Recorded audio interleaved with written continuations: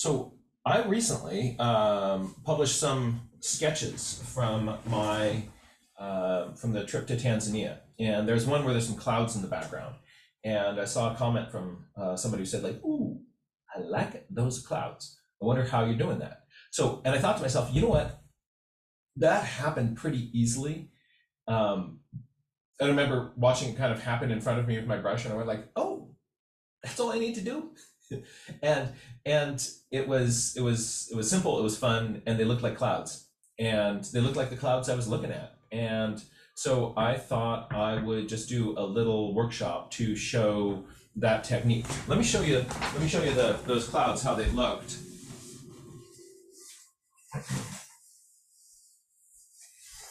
This is the the sketch that started this conversation.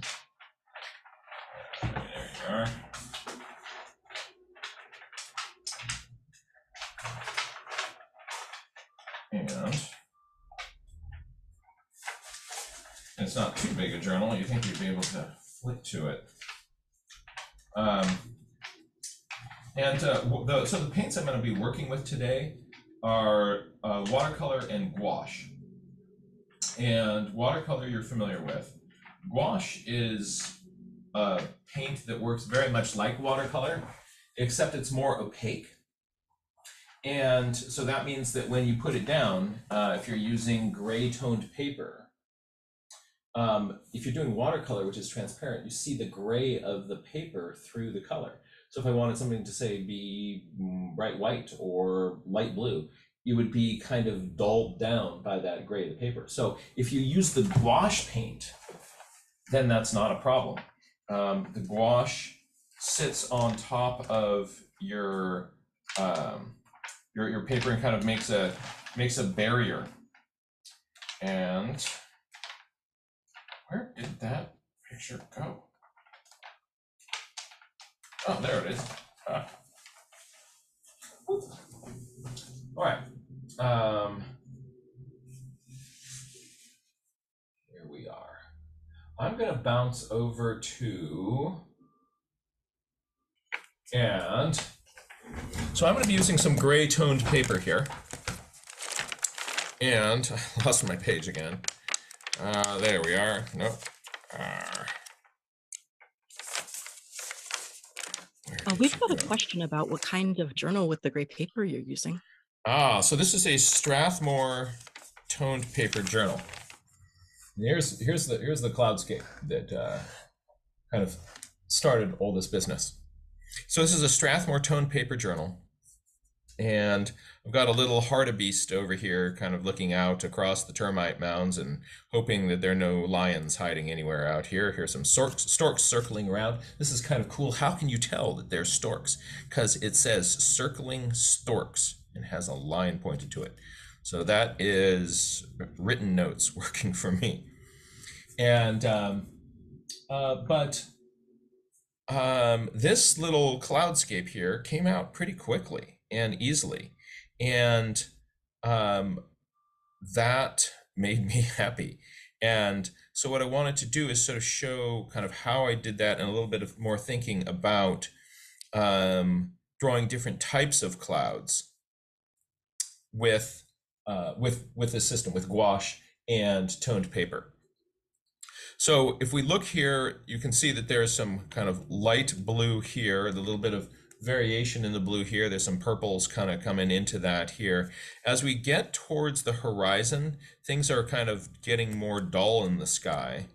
It's gray down here, and there's a little bit of brown. You can see some brown color kind of coming through here. Um, and then I have, we can see that there's some layers of cumulus clouds back there, some of these sort of puffy shapes with the sunlight hitting the top edges of those and lighting them up. So um, if I flip through this book, there's a few other kind of cloudscapes. And let's just take a look at a few of those. Here's one with, or, or skyscapes. Here's one without any clouds. Generally, when you look towards the horizon, the sky gets paler blue, and right along the horizon, there's often a little bit of kind of a warm brown that you're seeing.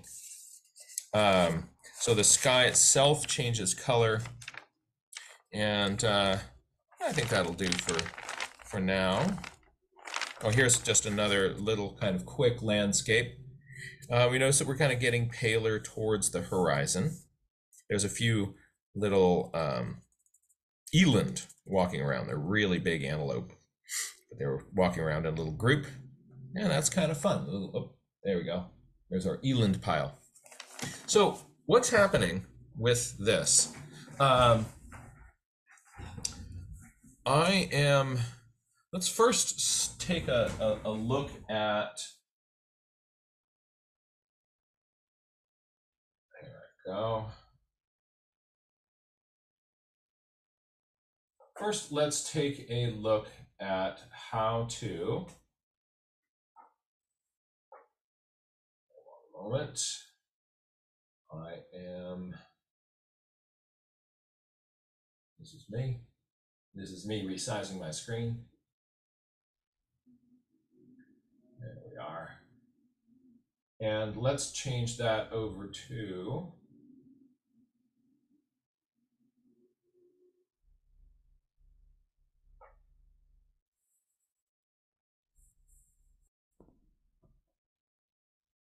There we are. Um, so on the left-hand side of our screen, uh, we have a um, video panel. Um, uh, I've got a little chart of a number of types of clouds. And I think this is kind of a good way to start thinking about clouds because um, there we are. Um, so yeah, let's let's think about these these different types of clouds. Clouds are classified by shape and height. So basically, if you have a puffy cloud, we're going to call those cumulus clouds. And you can have um, big puffy clouds, medium-sized puffy clouds, which start to kind of get in lines, and then very high puffy clouds. So those are the puffy clouds. And we generally call puffy cloud, clouds cumulus clouds. So um, the other big shape that we see is sort of sheets of clouds. So if there's sort of a gray, just sort of total sheet of clouds over your head and they're not making cool, like, you know, sheep shapes, um, we call those stratus clouds. And so the stratus clouds can be low, they can be mid-level, and the stratus clouds can be high. Um, so shape is one thing, whether it's sheets or puffy.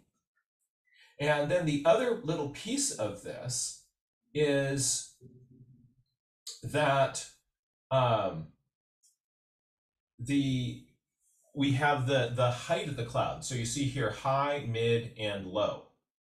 So for the low ones, the puffy clouds are called cumulus clouds. The low clouds are called stratus clouds. All this sort of uh, cumulus label is going to carry throughout all the different elevations, but they're going to put a prefix on it. So when they get a little bit higher, they're called alto cumulus. And when they're super high, so much that they're high up, so high up that they're frozen, these are called cirrocumulus. So cumulus, alto cumulus, cirrocumulus. And the same is true with stratus, stratus clouds. So stratus clouds, if you have these sheets of gray clouds down low, you've got stratus clouds, mid-level, alto, again, alto, alto, stratus. The really high ones, these sheets of clouds, those are cirrostratus. And um, you can tell you've got alto stratus clouds because it kind of looks like you're you're looking through kind of a sheet of ground glass when you're looking at the sun. And it'll just sort of be a little bit hazy. But if you're looking at uh, clouds that are high enough that they are frozen, they're frozen up there. Actually, I can make this a little bit bigger. There we are. Frozen. Um, then the frozen ice crystals cause really cool reactions with the sun. You get these rings around the sun. You can also get sundogs, um, which are little rainbow spots on either side of the sun, 22 degrees away from the sun. And that is, um, so those are the stratus, altostratus, cirrostratus, cumulus, altocumulus, cirrocumulus. So re- remembering that that sort of sort of simple name alto cirro, and then the stratus and the, the the the cumulus clouds, you now have six cloud types that you already know. Um, there's just a couple other ones that um, that we're going to add into this. If the um, in addition to the high elevation clouds just being um, in little kind of puffy rows, if they are in wispy strands, those are just called cirrus clouds. So the term cirrus clouds refers to the high clouds that are not in little puffy rows, that are not just like a sheet, but they're kind of looking like horsetails. So add cirrus to your bucket. And one other little cloud type that is fun to have um, is the um, the uh, uh, stratus clouds. If they're raining on you, then they put the prefix nimbo, meaning rain, in front of it. And um, so we've got nimbo stratus clouds if it's raining on you. So anytime it's raining, you can walk outside and say, "Why? Look at look at those uh, those nimbo stratus clouds. I'm wet." So there's a little bit of just sort of the the cloud types. It's fun to identify cloud types, and one reason that it's fun is it gets you to look a little bit more closely at them. So if I'm looking out my window right now, I'm seeing some alto stratus clouds to the west, and the rest of my sky is clear. So I'm down here, I've got some alto stratus clouds. If you've got uh, a window adjacent to you right now, want to encourage you to look out your window, notice your cloud types. Oh, and I have some just cirrostratus clouds out there. So I've got alto stratus and cirrostratus clouds um, outside my house. What do you have in your part of the woods? Drop us a note in the chat. Now, supposing we want to draw these. All right, let's just take a look at a cloud here. And here, what I've done is I've chosen kind of a nice, puffy um cumulus cloud. Here's a little cumulus cloud. And on the top where the sun is hitting, it has um, beautiful, uh, beautiful puffy lumps, and I can see the sun hitting some of those. And on the underside, I have the part that's in the shade. Very often, the part that's in the shade won't be just, don't put black paint down there. It's usually going to be a warm gray because it's reflecting some warmth from the ground. It's reflecting light from the ground. Um, so sometimes you'll see even browns in the undersides of those clouds and a little bit of warm gray in those. The upper part, we're seeing um, highlights, the bottom part, sort of a larger shadow.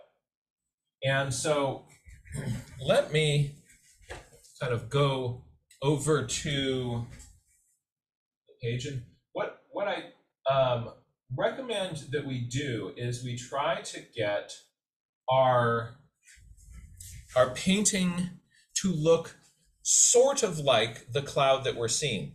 If you try to make your your cloud look exactly like the cloud that you're seeing, then um, it's going to move to a different shape before you're done. But I want it to to really kind of represent that cloud type. So I will often, when I look up at the cloud, I'll sort of note its shapes, but I'm also going to be aware that in five minutes that cloud shape is going to be different. But I'm going to sort of copy it as quickly as I can, as best as I can, as best I can. And here are my tools. I am going to be using today some watercolor. And I'm going to be using a little gouache kit.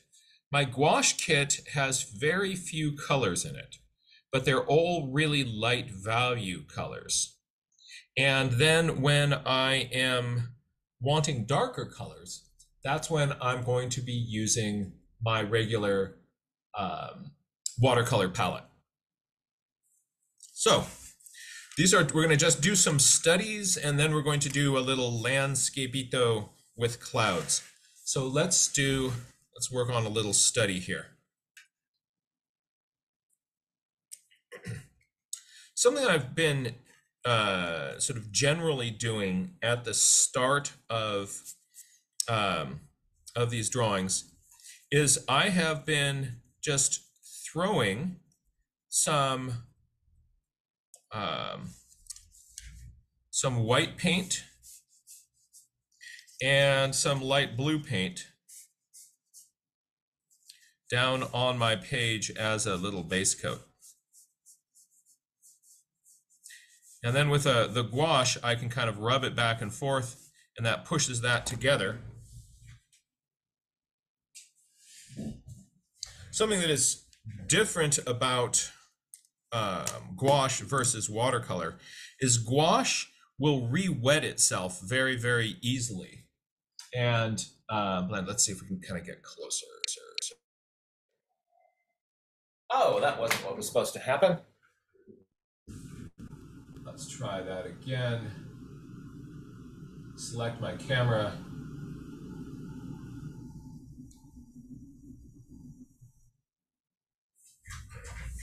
Was trying to get down. Ah, it happened again. For some reason, this thing does. Oh, I'm gonna try it one other way.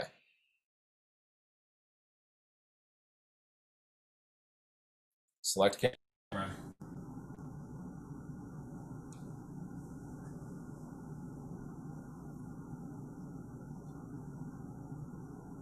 And and one of these is a zoom, isn't it? No? Oh, where's that zoom?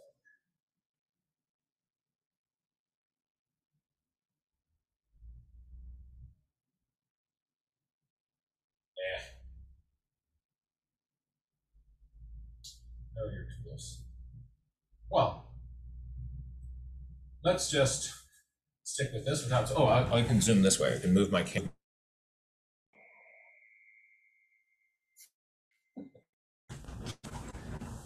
It keeps wanting to come back here.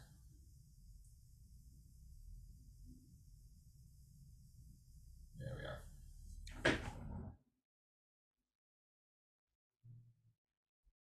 And huh. Most inauspicious.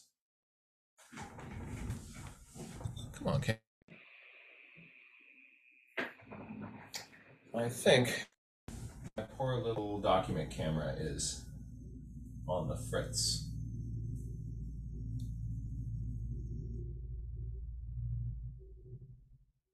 Well, that's sad.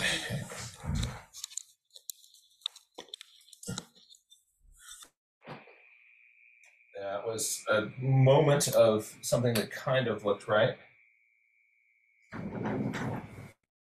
Have to get a new document camera.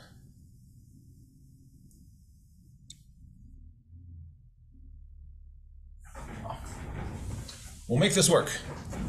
All right, so there is there's some paint. Oh, sorry, Jack. Um, could you uh take the uh Oh, Uh, oh yes, all those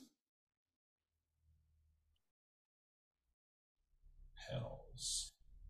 Is that better? um there's one more panel left. Ah, there we go. Perfect. Thank There you. All right. So, um, the so if I'm if I'm drawing a cloud, I'm very often in these when I'm doing these little gouache studies, I'll first just sort of put in some color. Um, the the color of blue that I can get with my gouache is this one here. Um, if I want that to be a darker blue, then what I can do is I can get there with with some watercolor. And I put the watercolor right on top of the gouache. And so I put that on and notice that I'm kind of fading it down. As it went down the page it faded. The the amount of blue in it faded. And the reason is I'm using a water brush here. So as I'm going down it is making um, uh, the the amount of paint on my brush is running out but it's still staying damp. So it still keeps painting. So if you haven't had experience working with um, a um, with a water brush before, that's sort of the way that it works.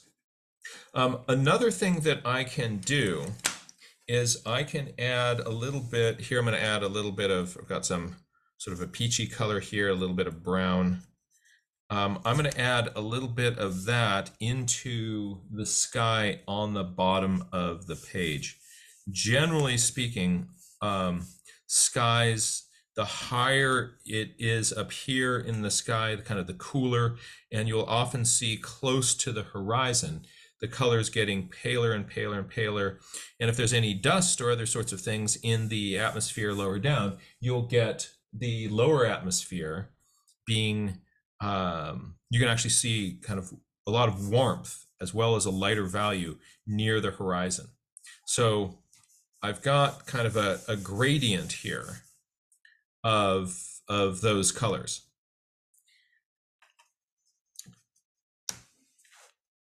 If I have a, um, if I have a, a, a, a drawing where, let's say I have, I'm going to now kind of do a vertical format here.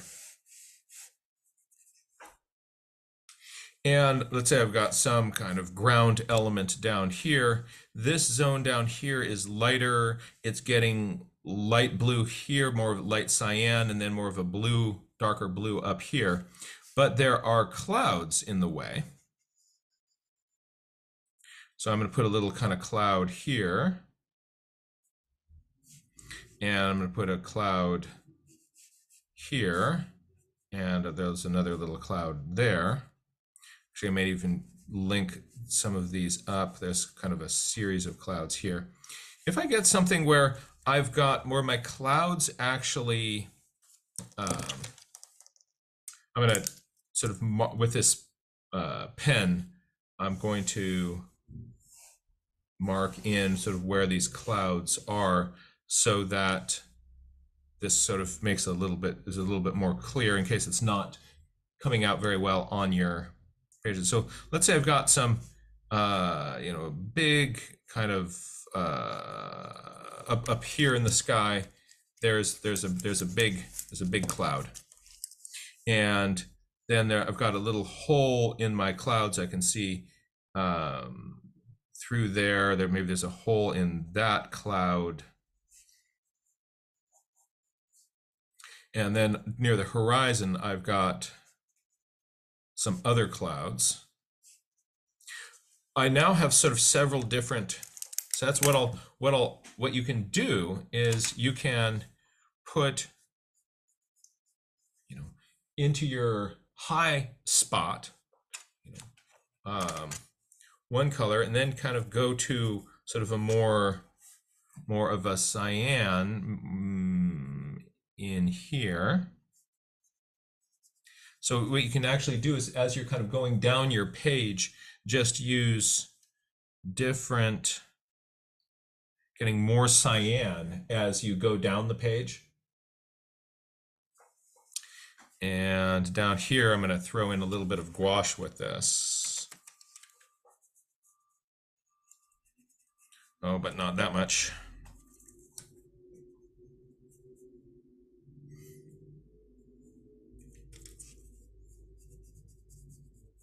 These things here are all done with watercolor. You can see how those blues are sort of grayed out a little bit. If I put the gouache in, you can see how the gouache makes more of a brighter blue and I can tint those gouaches, that those gouache bits with watercolor. If I want to make this one more of a blue, see that on the gray paper that shows up a little bit better. I think I want to make that more blue.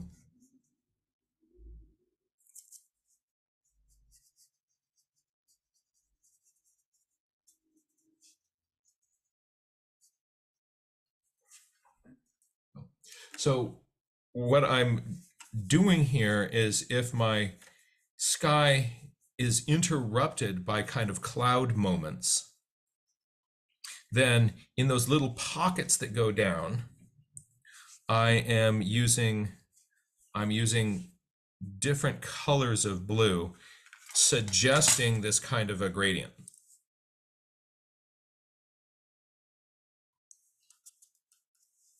All right, but let's say I want some clouds on that. Um, and, or and I also can play with putting some clouds on this. Um, I'm going to let this paint dry. If I'm out in the in the, the field, I find that this dries really, really quickly because I've got sunlight beating down on it. If you're in a very humid place, of course, that uh, takes a lot longer. But I'm going to use my hair dryer here because I'm inside and this doesn't want to dry.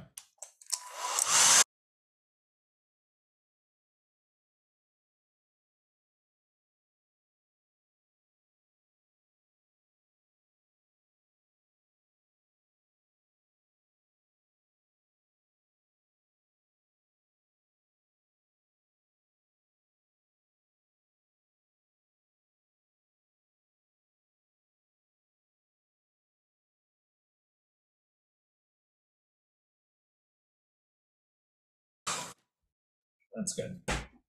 So for for these um, sorts of uh, clouds here, I am um, I want if I've got gouache behind it, I need to make sure that's dry before I try to paint my cloud on it. And the reason is that let me just put down some wet paint. Right Here's a little bit of wet paint. If I get myself some some gouache, and this is, it's, I can still actually see kind of gloss of that water on there.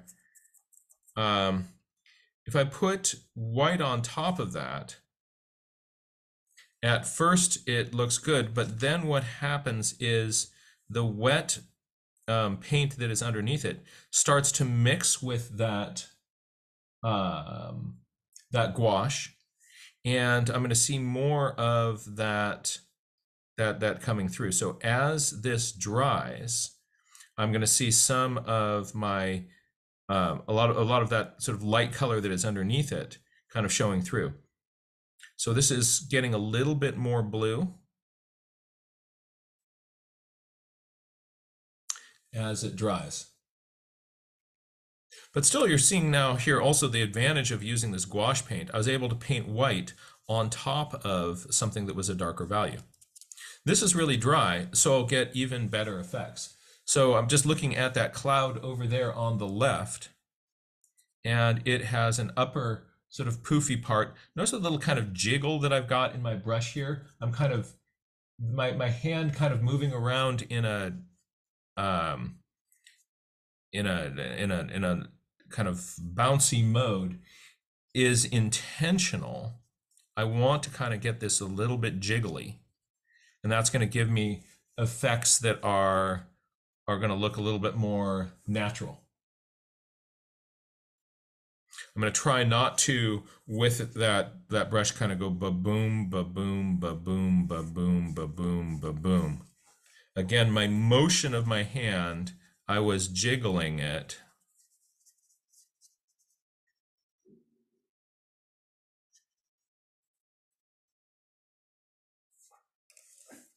And you see there are some parts, now as it's drying, when this went, when it first went on, it looked a lot more opaque. But notice as this is drying, these little cloud effects here are they're it's, it's starting bold, but then that's going to get a little bit more pale as this dries. Looking back on that cloud on the left-hand side, I notice that there are some real highlights where the sun is hitting this. And so what I'm going to do is I'm going to mix up a little bit of paint, but I'm going to make this a little bit thicker. I don't want this to be wet. I want this to be a little bit pasty almost. And when I've got it in more of a pasty condition,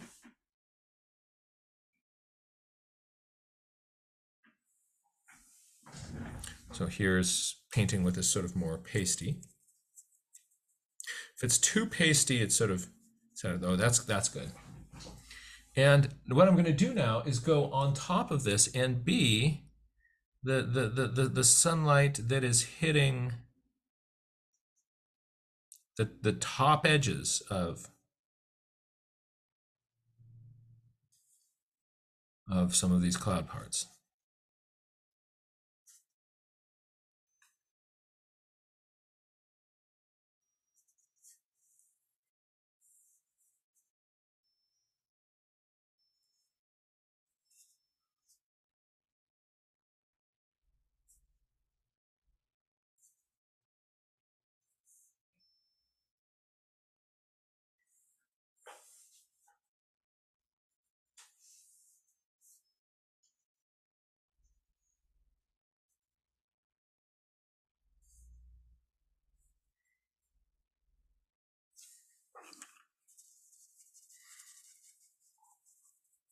The top edges of those are nice and crisp.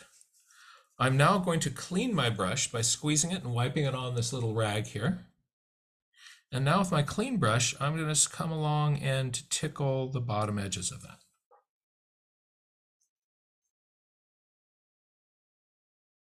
And what that's going to do is it's going to make the bottom edge of that just a little bit more subtle. Doesn't look quite, see this part here looks like a brush stroke, right? It looks like you put white paint in there. But if I come in here and I'm going to just soften that bottom part.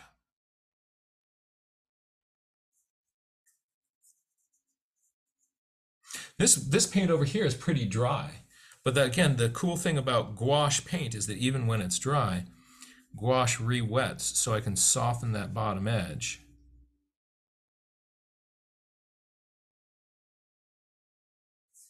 And it's looking more like these these these these cloud parts like popping. Right? So it's got a harder outer edge.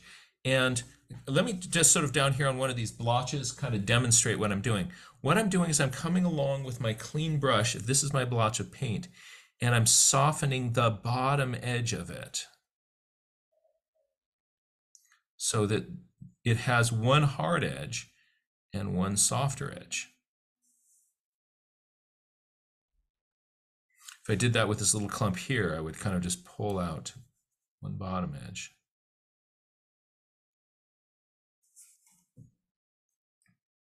So I want there still to be a hard edge in there.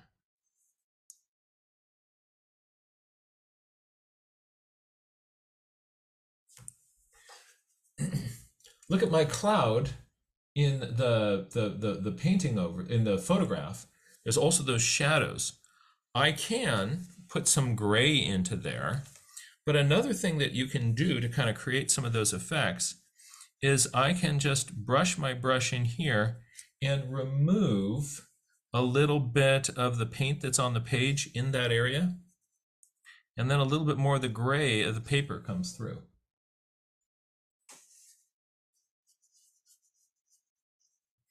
So there, I made that part a little bit darker. Let's say right in here, uh, let's say I want some of this part down here to be a little bit darker. I have my paper is darker than this light value here. So if I push some of this gouache out of the way, I just made made a little dark spot. I could also get a very similar effect by I could take some gray paint here. This is gray gouache. Right? It's very close to the color of my paper.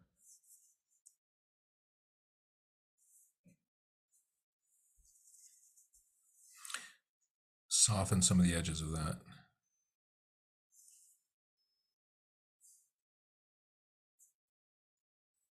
So we've got a question about, is there um, more water there, is there more water used the farther you are from the harder, um, most outer edges? No, no, that's that's just um so let me put a kind of a glob of white in here, right? So what's happening is is the reason it's fading out is that I'm not that I'm using more water water, but I'm coming in here, the paint is now on the brush. And as I come this way, I'm running out of paint. So I'm not, it's not that I'm squeezing, I'm not actually squeezing at all. I am, um, I'm letting the brush dampen the paint, move the paint, and then my brush runs out of paint. And those are crazy cool clouds. And you actually, I, what, what was was was fun when I was out there in Tanzania is the clouds that I was looking at. They had these little kind of bright edges and these sort of grays. Here I'm, I'm not even really drawing the bottoms of these clouds. They're all kind of blending into each other. Um, that looks really cloudy. That's fun. Well, actually, first let me check. Did that answer the question? Uh, yes, I think so. Okay. Well, this is drawing over here, let me pop over here. So, I mean, that's, I mean, that's, that's some satisfying cloud business. Let's, let's take a look here at, at just sort of some, some general thoughts about dark on clouds. So look over here on this cloud here. Notice that this cloud that is close to you has it's got a really soft edge down here that's fuzzy. And look at how much of it is gray. Look at how much of that cloud is gray. Now this one over here, it's got more white towards the top. It's got crisper edges. And this one down here has got gray down on the bottom edge of it, and most of the top is light colored. Huh, what's going on here? Well, imagine yourself looking up directly under a cloud that is overhead. The entire bottom of that cloud is going to be in shade. If that cloud moves, if you move out from underneath that cloud and start to look back at it, you'll start to see a little bit of the top edge of it that is in um, in in light. And the further you are away from that cloud, the more of that you will see. So things that are closer to overhead will be higher in the picture plane that you're drawing. So what you can do is for clouds towards the top of your picture, have more of the underside of it be gray. And ones that are lower in your picture plane, have more of the tops of them be light. One last thing, I want to point out the little bit of a silver lining on this cloud right up here, and you see the same thing happening here. I'm not going to let that shadow go all the way to the edge. I'm going to give it a little bit of a light edge. But notice that the cloud towards the top of this photograph has more gray on more of the underside of it because you're looking at more of the bottom of that cloud. So, what does that mean over here? It means this cloud is going to be mostly gray, this cloud some, and these clouds over here more white on the top. Let's put that in.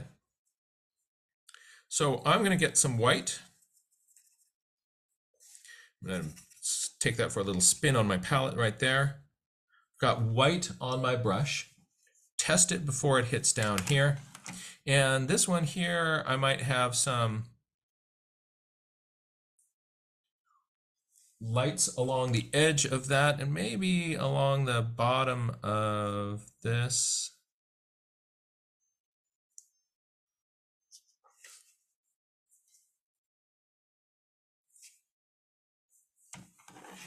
And then in this next little cloud here, re-tap, we hit this tap right here. I've got more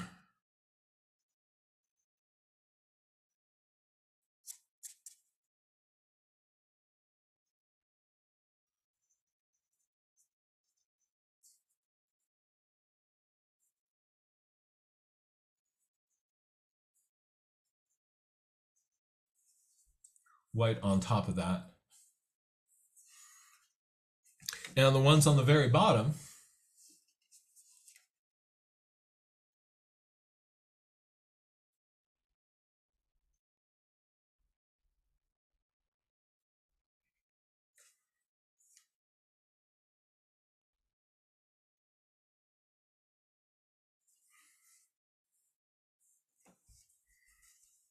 think I like the way the top cloud is working. This one here, I'm going to soften some of these edges.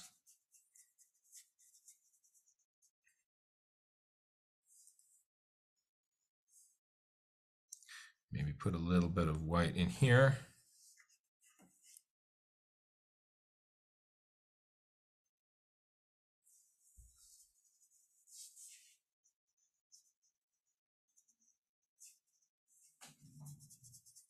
Really soften up along here.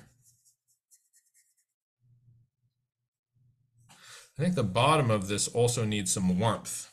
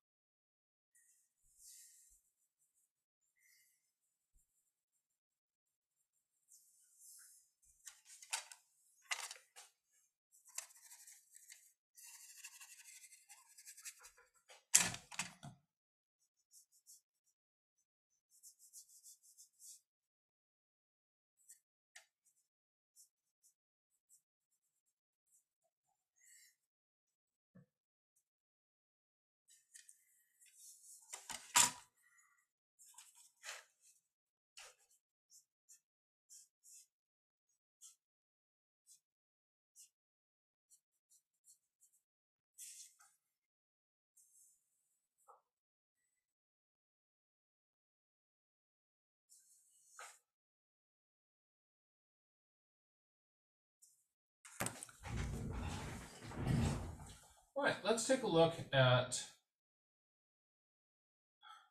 one more little cloud scene and just sort of play around with this. So I've got now got a, a number of other kind of puffy cumulus clouds. Notice that same thing going on. This cloud towards the top, I'm seeing it as being more rough and uneven because it is closer to me. I'm seeing more of it as being gray I am seeing down here, these ones have more white on the top and then there's some gray on the bottom edges.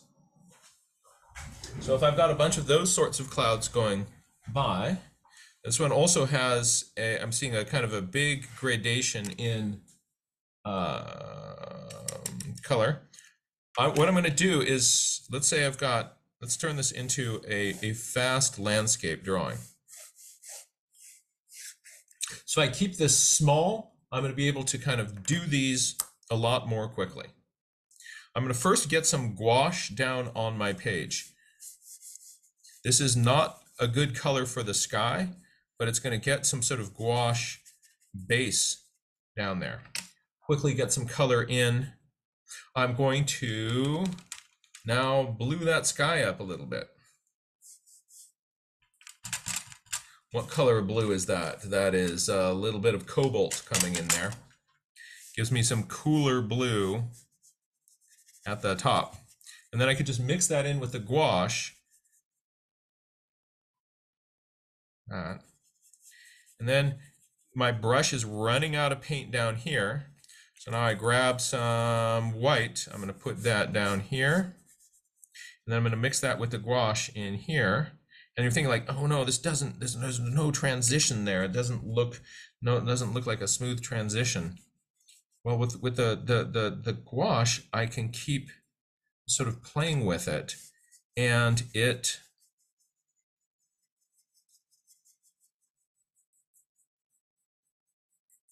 starts to get smooth.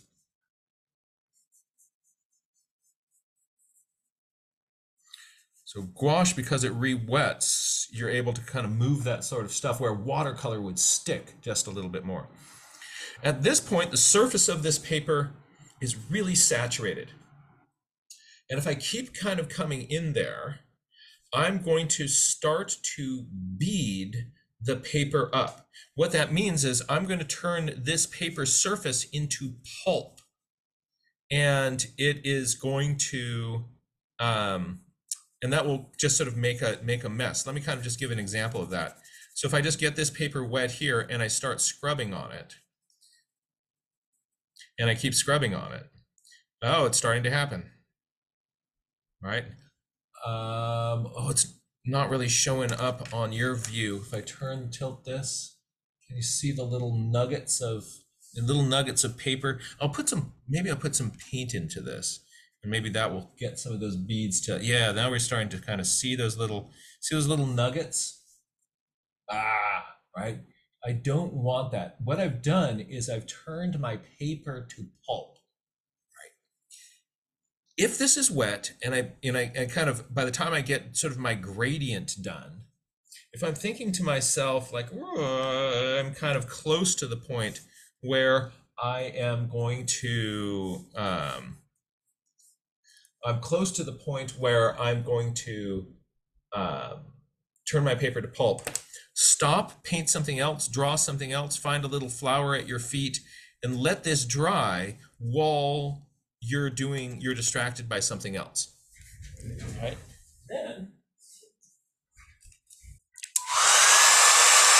I can paint right on top of that. So I'm going to hit this with my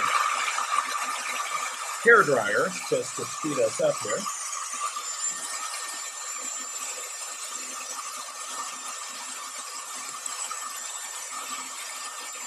still damp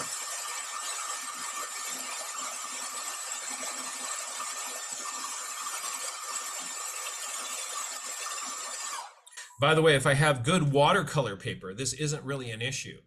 Good watercolor paper um, is not going to be, you know, uh, turning into little beads quite as quickly. So you can work with it much longer, much better. But this is just, you know, light sort of sketchbook paper material. Here.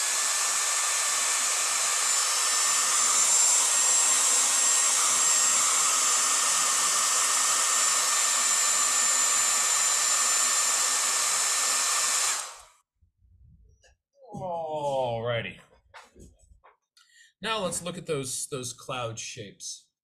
There's a big cloud up here. It's going to be have sort of looser edges to it.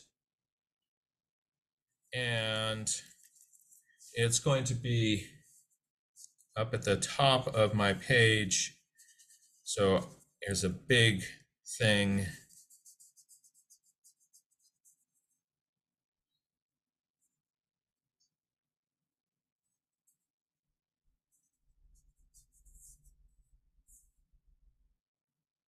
There's another little nugget of cloud then poofing out onto the right here.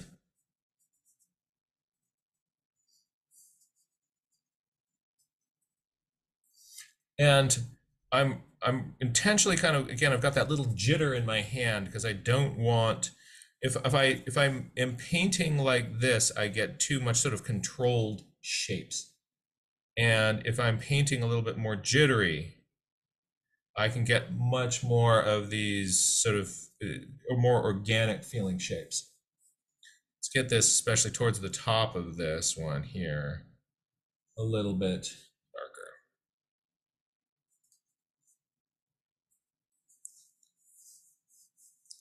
Down below here, I've got some clouds that are really, really bright.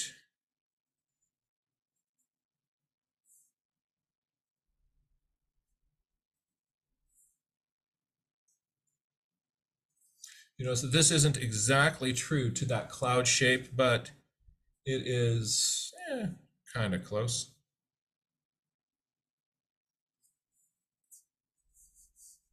Now, if I had other clouds closer to the horizon, they would be smaller. They are going to be closer together.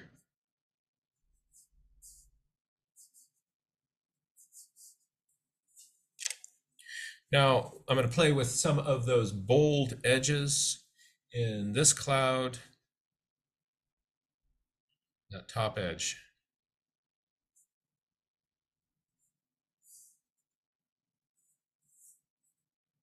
I think I want a little bit more white in this.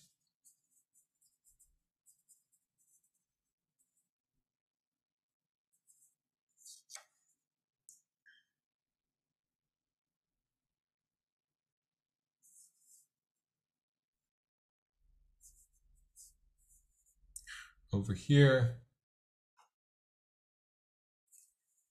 I want to get some thicker paint.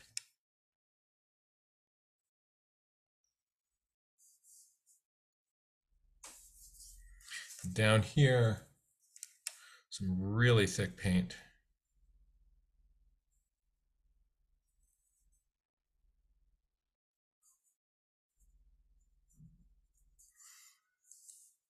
Some thick white in here.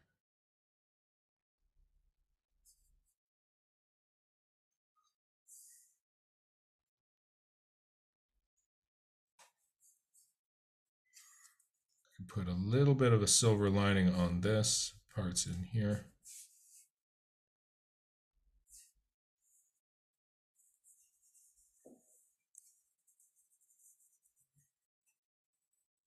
Are there any parts that I want to be darker? I can do that again by lifting out some of my white. I lift that out, I clear it with my brush here, get my brush clean again. I can lift out more.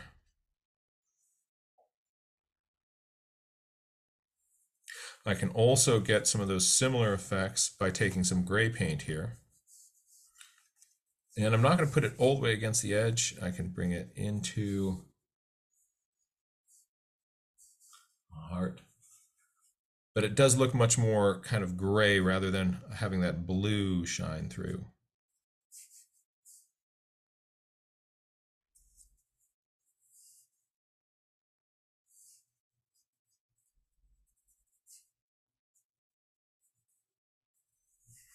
This one over here. Little bit of gray on the bottom.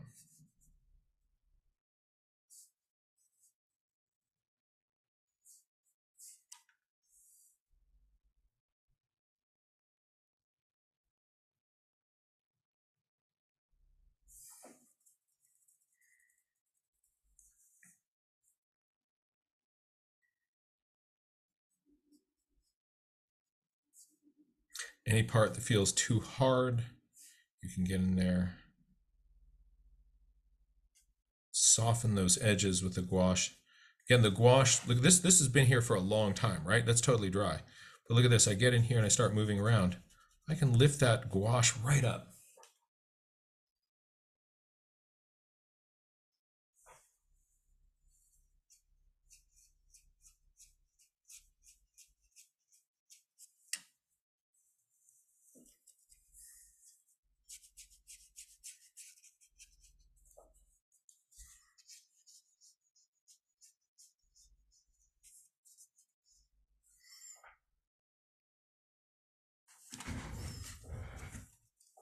That is a little bit of how those cloud effects were made. Um, so again, I'm using some toned paper. I'm using a mixture of my gouache and watercolor. Watercolor when I want things to be a little bit darker. Gouache when I am um, for my, my light values.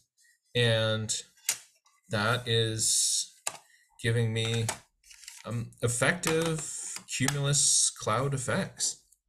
Um, I, wait, why don't I just throw some cirrus clouds in here in the background on this one, just because we've been uh, we, we've had uh, just sort of a, a, a, lot of cumulus clouds here.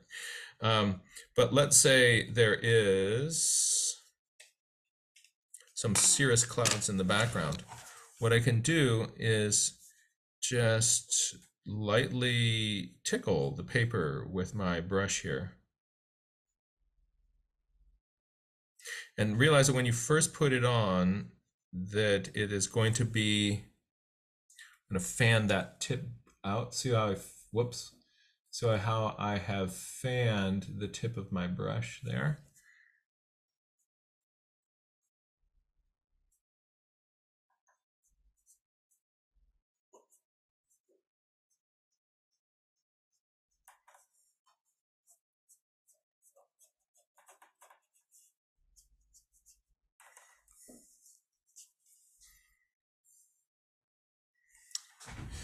And finally, I'm going to have an airplane fly in the background.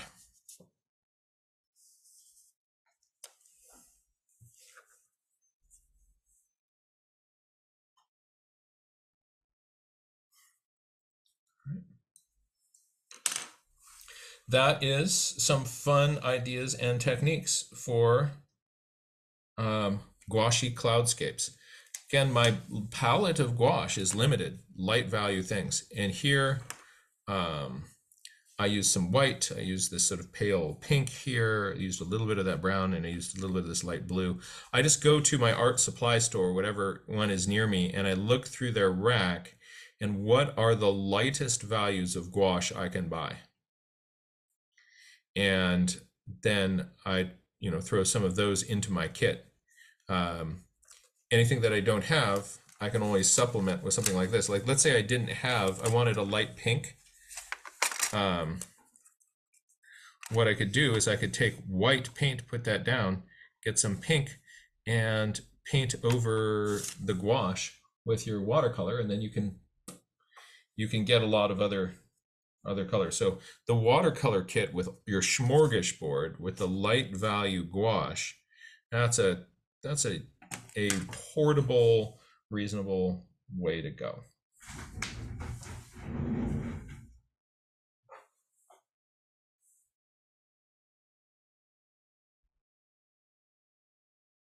And that is my gouache tips for the day. Um, so, um, what, see, are there any questions?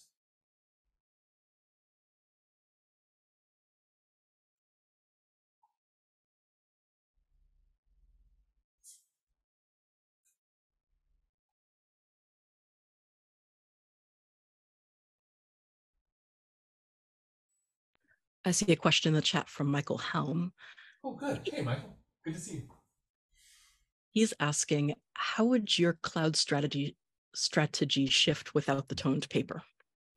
So you can put watercolor down of what uh, what with whatever you're seeing. With with your, if you're using white paper, um, I've actually done some past classes on on this uh, maybe I'll show not tell. Let me grab a piece of white paper and we'll throw in just sort of a quick kind of uh, a, a, quick skyscape just with using white paper. I have done other classes where it's been all about that. Um, so this was a little bit kind of a unique thing, kind of drawing these light colored clouds on tone paper. But let me uh, let me grab this for you. Uh, Michael, I'm so delighted that you could join us today. I miss adventuring with you.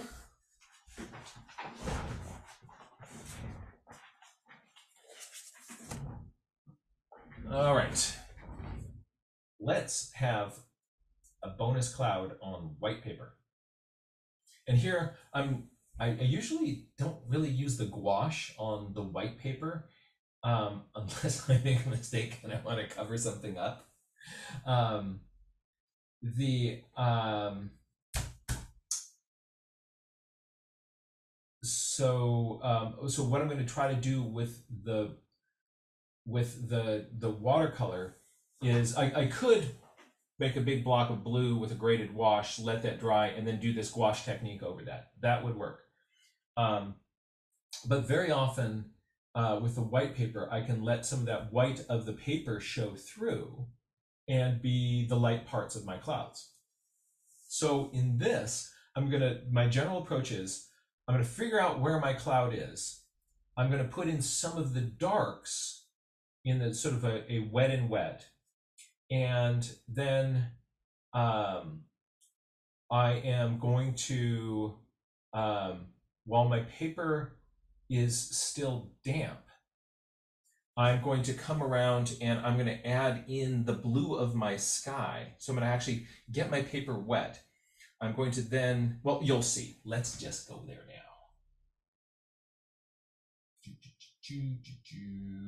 I want to do this. I want to that, that. And there. All right. Um, here is my watercolor kit.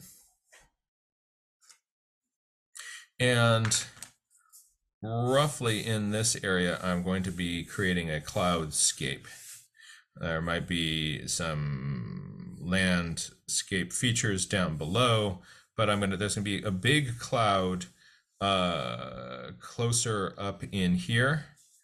Um, and then uh, some small clouds down here, and then uh, maybe some cumulonimbus clouds. Those those those thunderheads near the near the horizon here.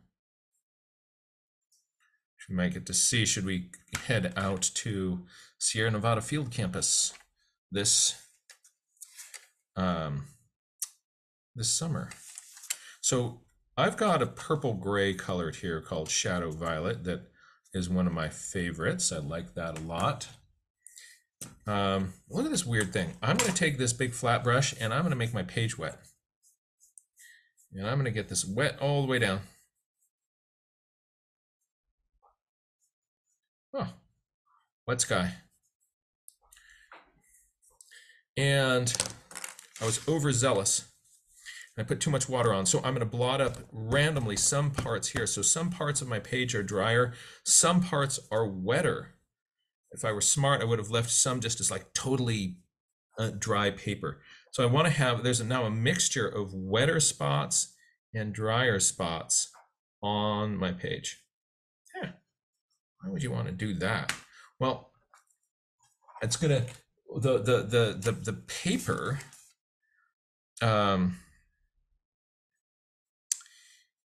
the the paint is going to behave differently when it hits dry versus wet. And I'm going to kind of come in here, test this out here. Then remember there was a cloud here. I'm, I'm painting in the, the bottoms of these clouds. This one near the top, maybe I want even more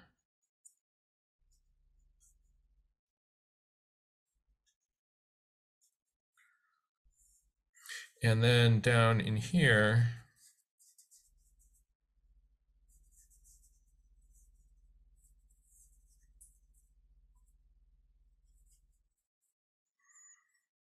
right, so I've got some blotchy um, grays going on in here. Now, what I'm going to do is I'm going to mix up some, got some blue paint here. So this is some cobalt blue and test that out on the side. That'll work for me. And what I'm going to do is I am going to bring that into my sky and let the edge of it I'm going to put in just some little dots of it here. And as it comes down the page here, I'm letting I'm letting the the the the paper um, the wet paper determine the cloud shape. Excuse me. Excuse me. As I come down lower on the page, um, I am going to shift from cobalt blue to more of a um, a cyan. This is manganese um, blue hue from Daniel Smith. And I am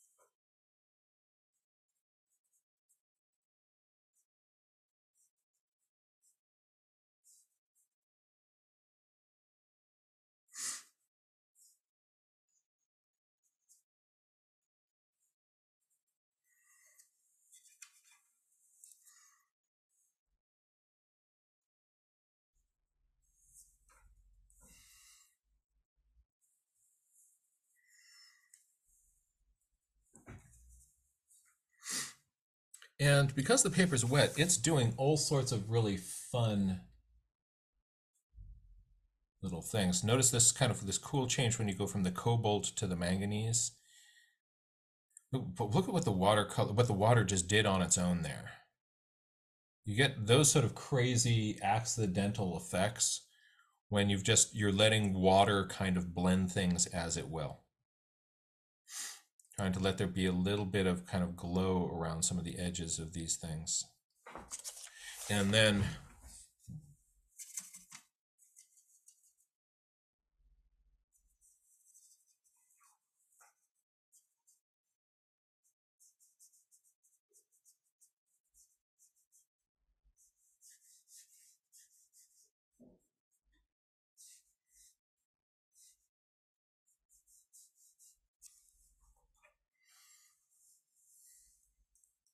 I want that sky to feel darker, I mean brighter, I make this ground darker.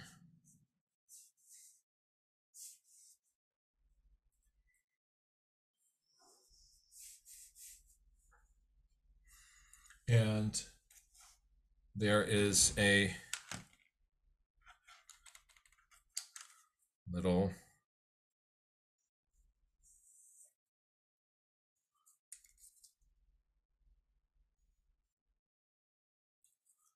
skyscape. Maybe I have this be a mountain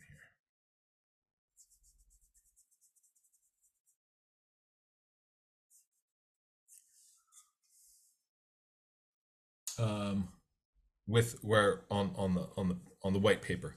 So I again in fast time, my strategy was to wet the paper, but now I'm actually being better about it. I'm partially wetting my paper. All right, so I've got a few dry spots. Then I can even do this with this brush here. I am going to take this little flat. I'm going to get some purpley grays. I'm going to put them in here. Uh, there's some cloud shadows in here.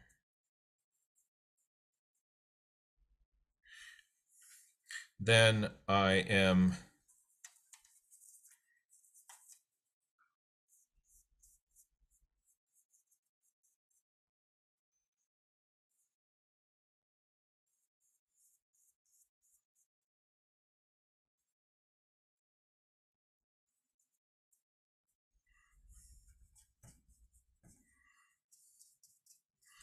going to switch from cobalt blue to manganese blue hue.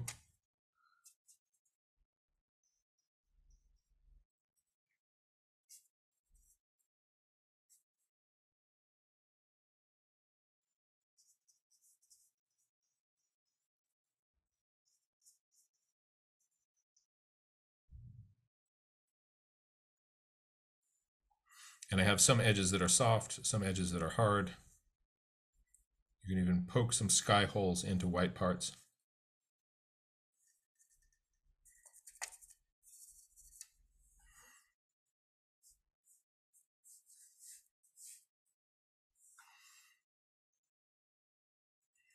And that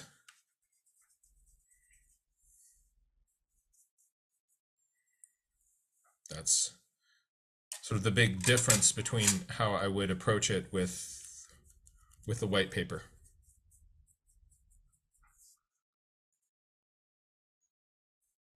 Flat brushes, by the way, are wonderful, wonderful little things. You you don't think you can. Uh, you, uh, when I first started, I thought like I want something where I can control it. These these flat brushes, you really get some wonderful effects if with when you're brushing with them. um, very often my strokes are I'm I'm kind of twisting it so that um, I can get um, it's going to do sort of different angles and things. So that's useful for foliage. It's useful in skies. It kind of creates a randomness in things that you really can't get with one of these.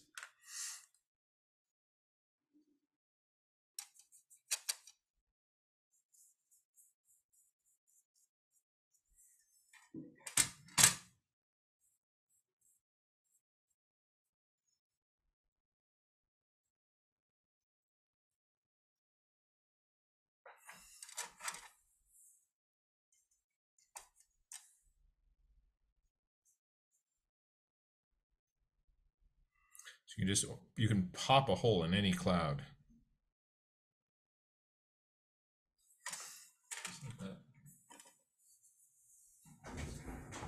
Um, Michael, did that did that help?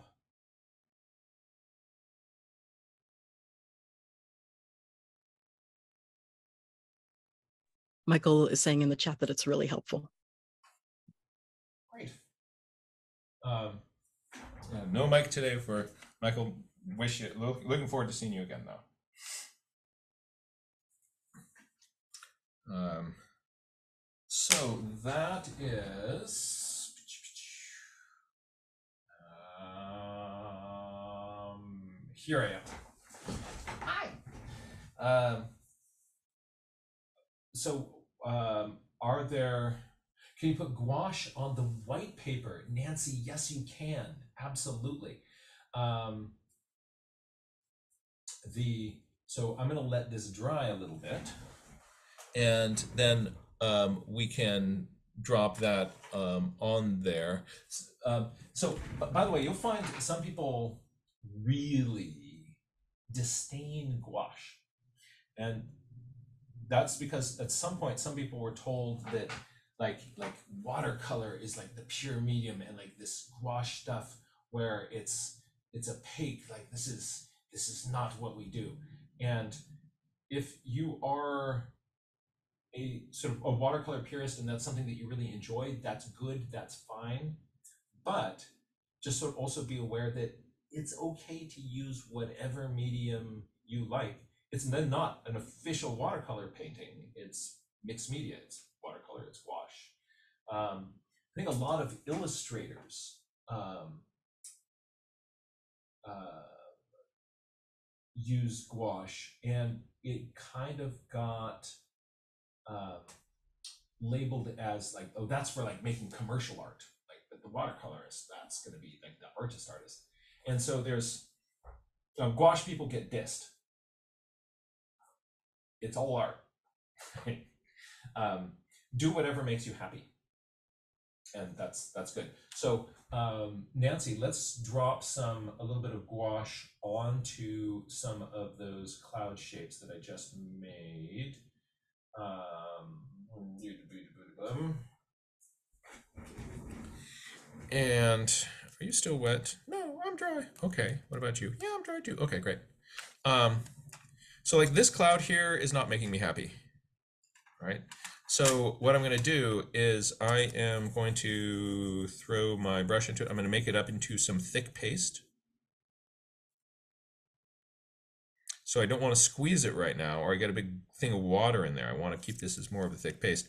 Because then I'm going to come along here. Oh, that's too thick a paste. If it's too thick a paste, then it doesn't flow off my brush. I was so excited about making a thick paste. I made a very, very thick paste.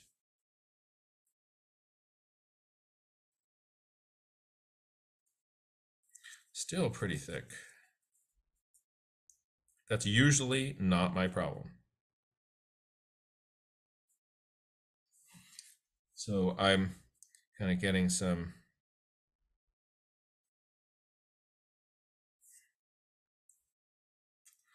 I'm gonna bring some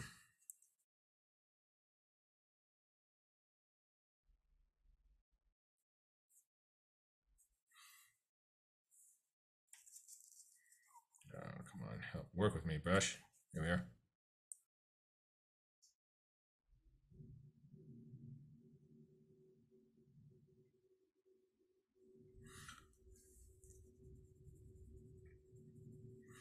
Now I'm going to soften some of the bottoms of these gouache marks.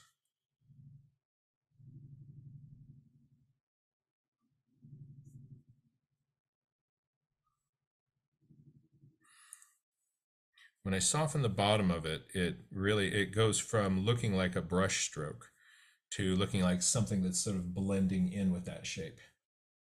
So here I just put some gouache on top of some of those marks and put my hand in my other mountain. Ah, sorry, mountain. But uh, yes, you can uh, use your gouache with your, um, you can use your gouache with the, the, the, the watercolor on white paper as well. It's not something that is restricted to um, just uh, toned paper.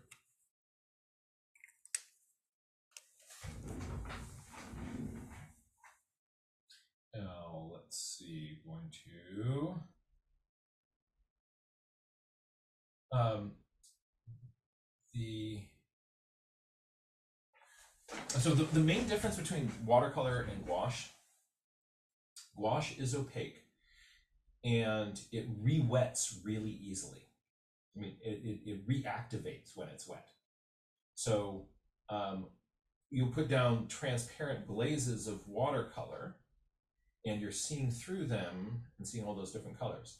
With gouache I put down this on top of that, just like oil paints, it's going to really block a lot of the stuff that is below it, unless I use it in a really dilute way. Oh, uh, Vea, tell us about the zombie paint. Um, our friend Gabby started calling it the zombie paint because when you re when you re-wet it, it comes back to life. uh, Don't do it, Jack. Don't do it. Brains. Um, the um, and and so yes, you can paint over gouache, but you have to do it lightning fast because you don't want the gouache to reactivate. So if I'm mucking around with multiple layers and wash and moving my brush around, the gouache goes like, "Oh, you want me to be active again? I am active. I am your friend. I'm gouache." Right. However, um, if I come down and just sort of do like one quick stroke over it, I, I then I can um, then I can tint that gouache different colors or or or um, uh, or, or paint. um, the uh, so so let me let me tint some gouache. Tint some gouache. I'm gonna tint some gouache. Uh, we're gonna tint some gouache. Here we go. And bing. All right. So um, let's go here. Right. let's say that this was a sunset and these were clouds that were turning orange. Mm, mm.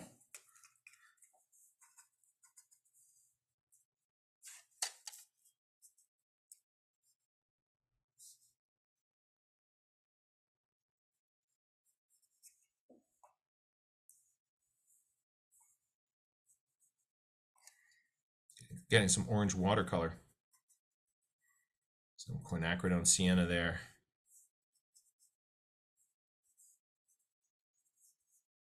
the top of them is still maybe some white.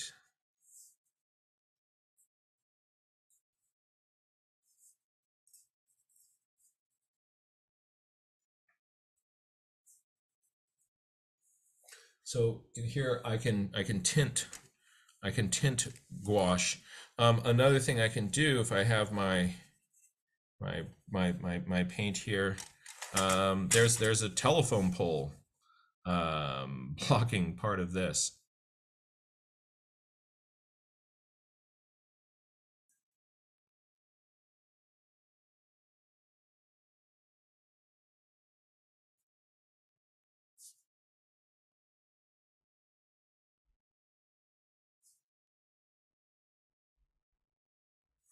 So I can paint, I can paint over that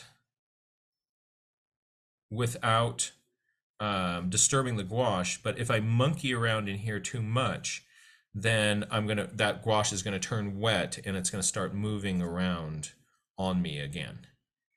Um, but um, but I can get away with uh, you know painting on top of it if I do a lot of painting on top of it, then you'll start to see, like, let's say I was painting, you know, something across here and sort of coming in here. See, oh, it's already happening. See this little pale stuff in here? That's that gouache that is now reactivated in the brown. And I now have so sort of cream in your coffee color paint right here because I monkeyed around in the gouache a little bit and that gouache reactivated. However, over here, I'm not going to, I'm just going to put one stroke and stop. Um, so the paint is staying where it is and it's not reactivating. If I want that to be really dark and opaque, I can do that, but I just need to make sure that that paint that I'm painting over it is dark and opaque, right? So I can paint over this but just realize that there's this there's this stuff that wants to kind of come up and it wants to play. Gouache wants to play. And if you get it wet it will be it will come out and play. If you don't want the gouache to play that's a problem. If you do want the gouache to play to play then you're like yay my gouache is here. And then some of these ones they're actually turning pink by the horizon back here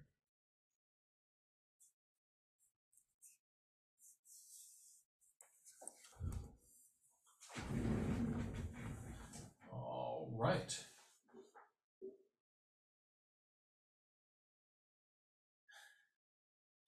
Um, let's see. Um, are there are there any other questions that you're seeing? Um, I'm seeing some, um, some of them have been answered. One question is, will, will gouache be rewettable forever or will it eventually dry at some very distant point in time? The thing that's fun about gouache is you can let it dry as dry as a chip. Right? And then you come back, you get that wet, and it's like, come back. It's like a tardigrade. Gouache is like a tardigrade. You think you have dried this water bear out completely. You've you've wasted that water bear. Just add water, and the water bear is is back. Gouache is a water bear, and so the um, what I do is I squeeze gouache into this little palette, and um, the uh, and I let these these these tabs dry, and they can dry completely. And I re-wet it in here, and just like watercolor, it's back to play with me.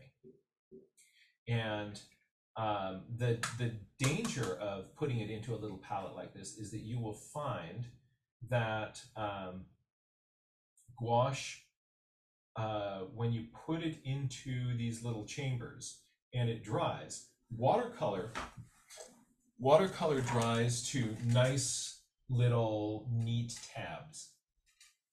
Gouache, when you dry it, it gets brittle and it cracks, and then chunks start falling out all over the place. And this drives people nuts. Right? You've had that experience, Savea? Yeah, yeah, it's rough. It's rough. And then you have like all these, you open this up and all these little shards fall out. So I did a workshop. Um, have, have I done a workshop with this crew on creating the little gouache palette so that they won't fall out? About a year ago, and I can put that in the chat again. Um, I put it in a bit earlier.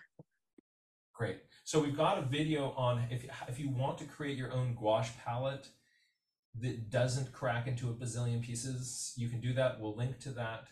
Um, the basic secrets are I have actually a little piece of little pieces of fabric embedded inside of these, and in addition to that, um, as they were drying, I was squishing them down with my fingers, remashing them into each other so that they wouldn't retract and contract into all these separate little broken pieces. So that as it was drying, I was re-mushing it into this sort of semi, when it's sort of in this semi-plastic state, I re-matted it and then but there's also reinforcing fabric embedded in each one of these things and you can learn more about that in that other video um, yeah I, that, that's that's fun to think about the water bear the water bear paint oh my gosh part one we build the palette that oh thank you so much um Avea. so Avea's just dropped into the chat the oh my um, uh, workshop, and uh, that's the one where we build that palette. So, um, in about a half an hour, I have to bounce between then and now. I'd love to see what's happening in your sketchbooks, in your journals, um, or if you did any kind of monkeying around with gouache at home today while we were doing this, please share that. And we're going to try to get to a bunch of folks. Um, I see um, uh, Kate and Ray Banto and Susan. Thank you folks uh, so much for being with us. Uh, we're going to start with um, our friend Kate Chandler. Hey, Kate, I haven't seen you for a while. Um, I hope you're doing well. Yes, so that has been because I've been doing well, luckily. Um, there was a while where vet work kind of, or the vet industry kind of got to me, and I was struggling to find time for the things I liked. So I did what any sane person would do to combat this. I got a horse. So now I have Timber, the horse that you guys met in my yard. Um, Timber is now your horse. Well, the conditions of that, I'm not entirely sure what they are, but the guy who owns him got a girlfriend and he doesn't have much time for his horses. So I said, Greg, can I have Timber? He goes, sure. And so I took the trailer out there and I brought him to my house and I have been out awesome. there playing ever since. It's also garden season, and during garden season, I turn into a bit of a crazy person. It's the time where I'm setting everything up, and I'm hoping that once I'm not hurrying to get everything into the ground as fast as possible, that I'll have more time to sit there and sketch. But things have been going very well, and yeah, I'll show you what I have in my sketchbook because I've been trying to be better about documenting the things that are around me instead of drawing from uh, I'm gonna hide. I'm gonna hide me so to make you oh, big. Oh, okay. Uh, remove. Bing. Oh, tell us about so this. Here's a page of local botany. Um, we have the skunk cabbages coming up. We've got salmonberry. I can't remember the name of this one off the top of my head, but it's very pretty and it's everywhere. Um, and the huckleberries are just starting to bud out and they're about to flower. Ooh, oh, and that is is that that one with the the um, yellow uh, that tell us about this the natural history of this uh, yellow one on the bottom. That looks like a really cool. Yeah, the skunk cabbage. Basically, I think I've heard somewhere that they can push up even through snow. um, because they're just that determined. I think Susan told me that.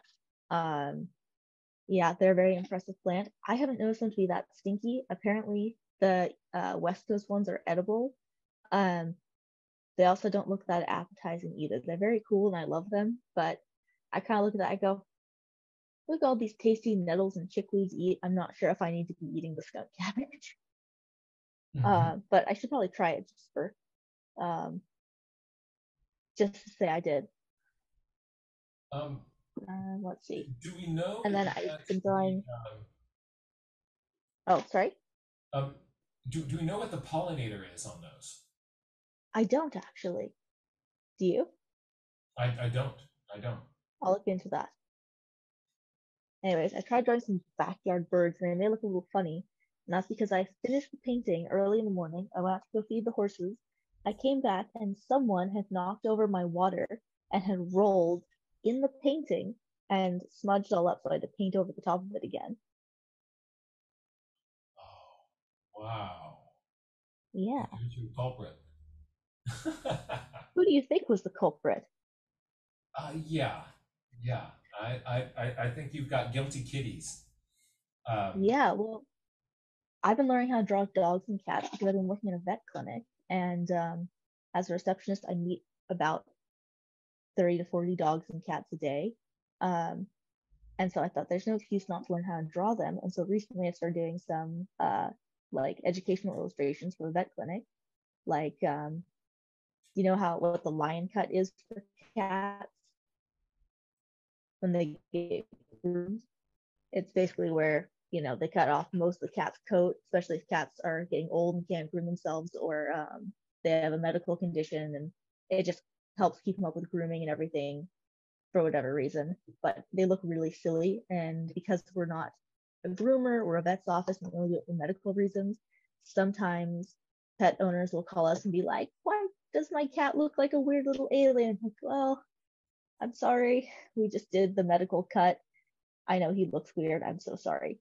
And so I made a chart where people can like fill out, or they have a couple preset options that I drew, and then they have a chart where they can fill in where they would like us to leave hair on their cat.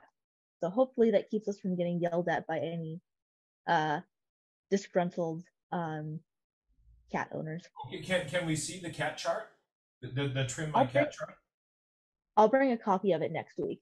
Oh, cool. Yeah, and then here's some more local botany backyard birds. Oh, fun. Um, yeah, the dead nettles are coming up. Does anyone know what those are good for? I know they're good for something. Um, I need to look that one up. Also, the robins are having their robin wars this time of year, um, where they just fly around screaming at each other constantly. kind of fun. Uh, yeah, I have my squash stuff from today.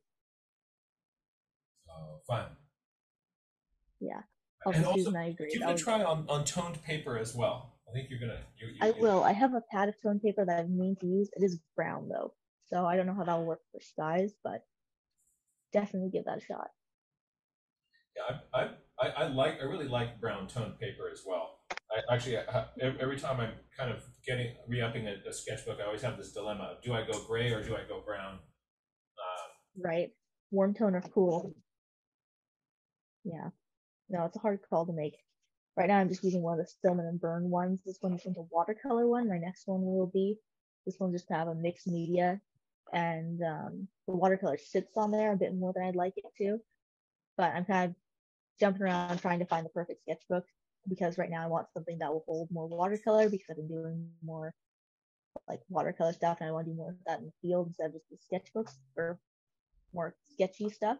Um, especially if I'm able to go ride out to locations and then go park and spend a couple hours painting and come home. I'd like to have a sketchbook that can really put up with like intensive watercoloring. That's great. If, um, let us know the results of this experimentation, and Yeah, uh, absolutely. we want to hear your. Now I need to get better at kind of documenting painting and hopefully I'll try and start the YouTube channel back up again and see if I can do something like a much less intense version of what Marley does. Um, but yeah. Great. Really great to see you. Oh, great to see you guys too. And- Thanks And for I'm glad that uh, timber is in your backyard now. Yes, yeah, I can see him out the window. yeah, we'll have to get him back on Nature Journal Club again. I'm sure he'd love the attention. That would, that would be really fun to do. Absolutely. Thank you so much. All right. Take care. That was great. Um, let's um, jump over to the UK. Um, Ray Bonto, it's great to see you. And, oops, there we are. And, hold on a second. I, Hmm. now why is it that when I've got you spotlighted and just you, I don't see any feature that allows me to allow you to unmute? For some reason, if I add myself in here, then I can ask you to unmute. Now you can unmute. There we go. Hi. Hi there. Good to see you. Good to see you too. Oh, here we go. And this is on brown tone paper, right? Yeah. It just brings a nice warmth through to it. That is so if anybody's wondering, will this work on my brown tone paper? Here's your answer. Unequivocally, yes. They're fun to do, aren't they? These little clouds Yeah. on paper like this. Right. Um, and this morning I was going through the nearby woods. So those are some bluebells. Oh, this is so cool to see um, all those ones undeveloped up there, and then the ones on the bottom hanging down. Oh, that. Oh, oh, hold it, uh, maybe center screen and hold it still for a second. We'll see if we can get it really focused on there. Oh, yeah. So, folks, look at that that bottom right one. Look at the angles on those petals. So you're seeing one from the side, one three quarter view towards you. Notice the asymmetry in the sides of that petal. You're really um, observing the angles on the individual petals, not just making this up out of your head. This is really great observation of those petal angles. And I was also watching the fruits. Oh, so uh, uh, they uh, nice work on the water too. Oh, look at these guys. Hold, yeah, hold, hold still with the page. They want it to focus. Oh, when they put their head down in charge. Yeah. Oh, that is such a great posture. Look at those t- tho- those those wings up. This is totally uh, Tunnicliffe. Uh, you and Tunnicliffe would probably have had a ton of fun uh, running around and sketching together with these these these posture things, and then a few dropping in the color. Um, really strong anatomy in those uh, those those those posture ones as well. Yeah. That's it. Thanks. That's cool. Um, Ray Bonto, thank you so much for sharing that. Um, I'm glad you're the weather's turning and you are um, you're you're you're able to to uh, to get back out in the field again. Thank you. Um, let's bop over to the East Coast. Susan, um, it's great to see you.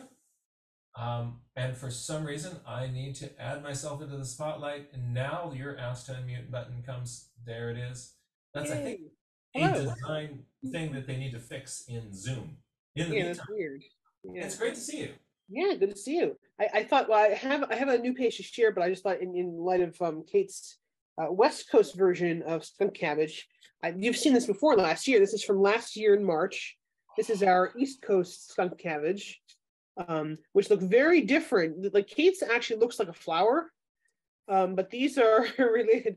And and Evea, that was one of the families that uh, Evea featured in Plant Families in Our Food Part Two. So you should- What, what family is skunk cabbage in? it- Is, is that is that a Araceae or is that am I mixing up with with the different family? I remember it as Araceae. Yeah. So which includes a whole lot of like popular house plants like um like pothos and monstera and all those and philodendrons are in that, but there's also a lot of like non-tropical ones that grow out here. And Jack in the Pulpit is also one that grows out here in the east, which is also in that family, which I really like. I I, I always like weird plants. Yeah. But yeah, so yeah, uh, um, and uh, Kate and Kate, like you, I I couldn't smell anything weird with them. I think the leaves, if you crush them, smell really like you're stinky and skunky. But um, uh, yeah, and, and apparently I think that they had they they were traditionally used by Native Americans for food, but I don't know I don't know if you have to cook them first. I'm not gonna try it without looking into it because I, I don't know, but yeah, but they're really just weird looking. And and these ones, they this is this was in March. I actually had it. This was last year. I intended to get out there before the snow melted, so I could see them growing through the snow, and then the snow just melted very quickly, and just uh, uh I, I Um, really like this um the the three quarter uh, the, not the three quarter view the um the little uh block diagram in here as well. Yeah. I think that, that, that I think that was like just after you'd done a class on block diagrams, and I was like, oh, a perfect opportunity. So you could see what Yeah. else kind of just like all grow in all the swampy areas. Yeah. Um, but yeah, so I was just want to show that off just, just to compare our, our different botany. so it's fun. But um, yeah, but this this this is my my newest most recent adventure. Um, uh, so oh, oh so so I'm I'm at the Albany Pine Bush. I've gotten involved in um, uh, I've signed up for all the citizen science stuff, and I was Of course you officially, which I've already done some things, but now I'm doing more. I just got trained for for uh, the woodcock surveys. So I'm going to go out and survey woodcocks, ask them what political party they're going to support, and all that kind of stuff. Um, Mhm. and uh, yeah, and I'm also now out of the officially a census. volunteer. Oh, sorry. You can't leave the woodcocks out of the census. Of course not. Of course not. They're Yeah. very important. They're, they're very important parts of. They, they go out and they go. They go meep meep. Me. They're so great. I love them so much. Um, but yeah. So, but I'm also now officially a volunteer naturalist at the Pine Bush, which basically means that you're supposed to go out on the trail and take note of like species that you see. So I'm already doing that. So now I can do it in a way that helps Pine Bush. It's great. That's that's fantastic. And and that's Yeah. where you saw all those moths, right? Well, the so so the buck moths. You mean last year? Yeah.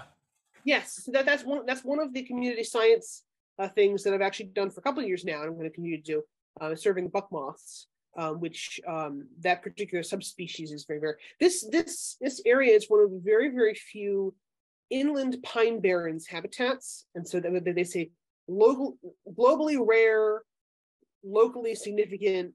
I forget something distinct. I forget the the the, the, the catchphrase, but it's it's a very very rare type of habitat and it supports a lot of like very specific species that can only live in, in that type of habitat. So this is one of them, uh, is the the frosted elfin butterfly, which comes out very, very early in the spring. We had heat wave last week, and so I like they're definitely going to be out for sure. So I went out and I did in fact spot them. You got it thermoregulating. Hmm? Is that, is that Yeah. thermoregulating behavior there? Yeah, I think I think so. So the thing is, is usually when I see them, usually they're they're they're perching and their wings are perpendicular to the sun. Yeah. And so, which is great because I can get some great photos of them because they're all lit up. However, on this day, uh, they were not doing that.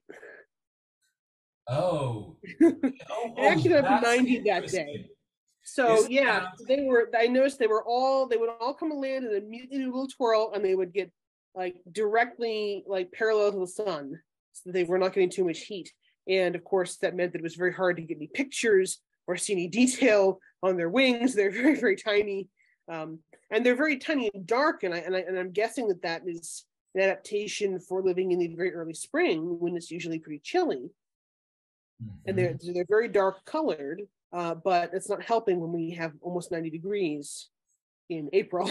So What what a a fun set of observations. Th- This whole idea of you know looking close enough and paying enough an attention over to a place over time to be able to know that you know this behavior that I'm seeing on these butterflies is not typical.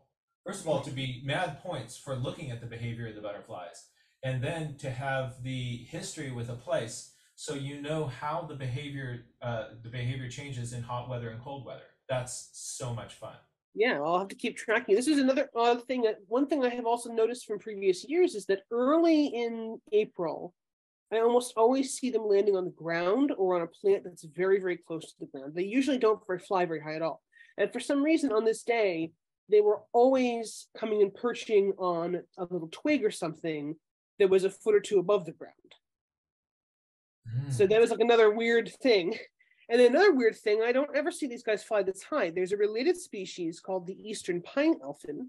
You guys, I think, have western pine elfins, and that feeds on um, pine needles.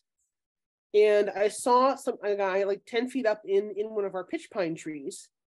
And I was like, is that an eastern pine elfin? Because I don't see them very often. They're here, I just don't see them.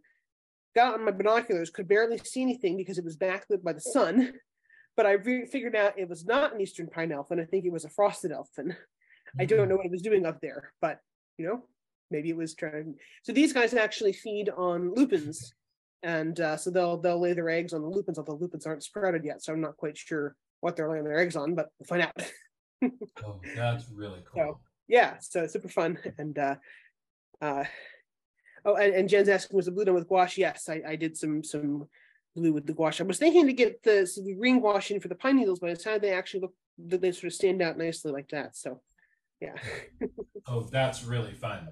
Susan, you've been uh, you've been you've been keeping your curious on, and now you're involved with all these citizen science projects. That's yeah. fantastic.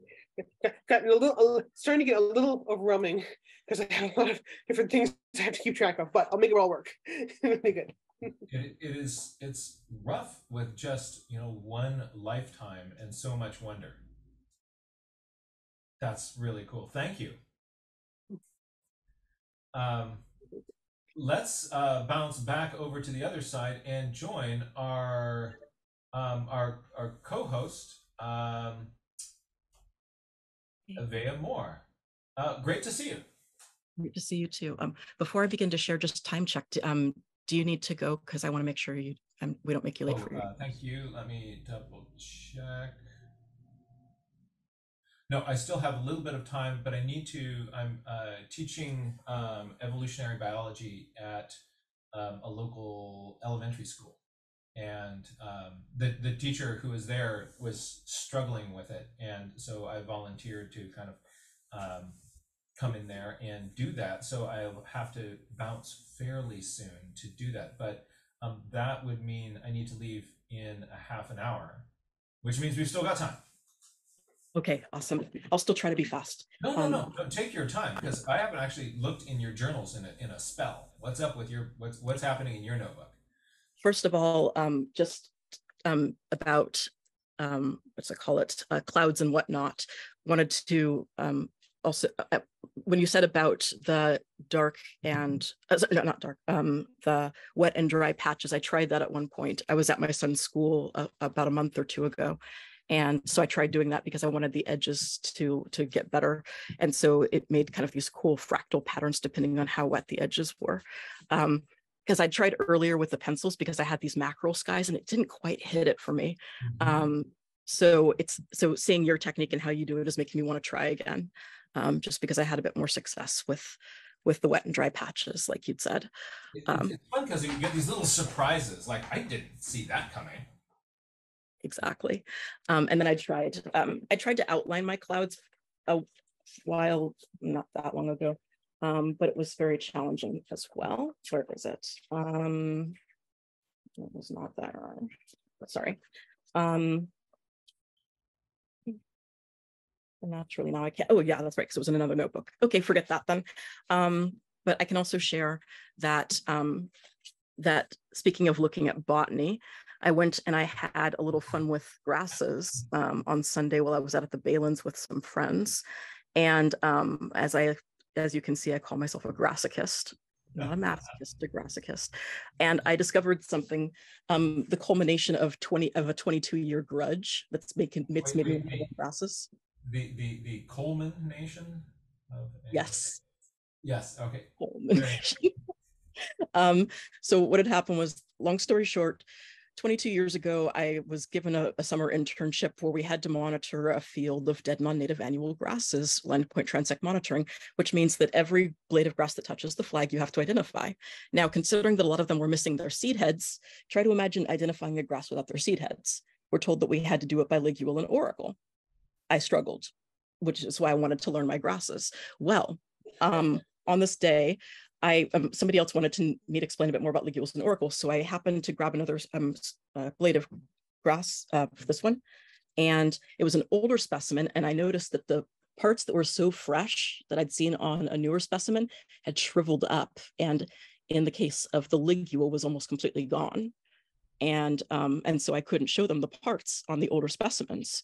And I'm thinking, but wasn't I supposed to identify that whole field of dead grasses? Mm. How am I supposed to identify that field of dead grasses when the when the diagnostic parts are all shriveled up and difficult to tell? And I'm like, vindication.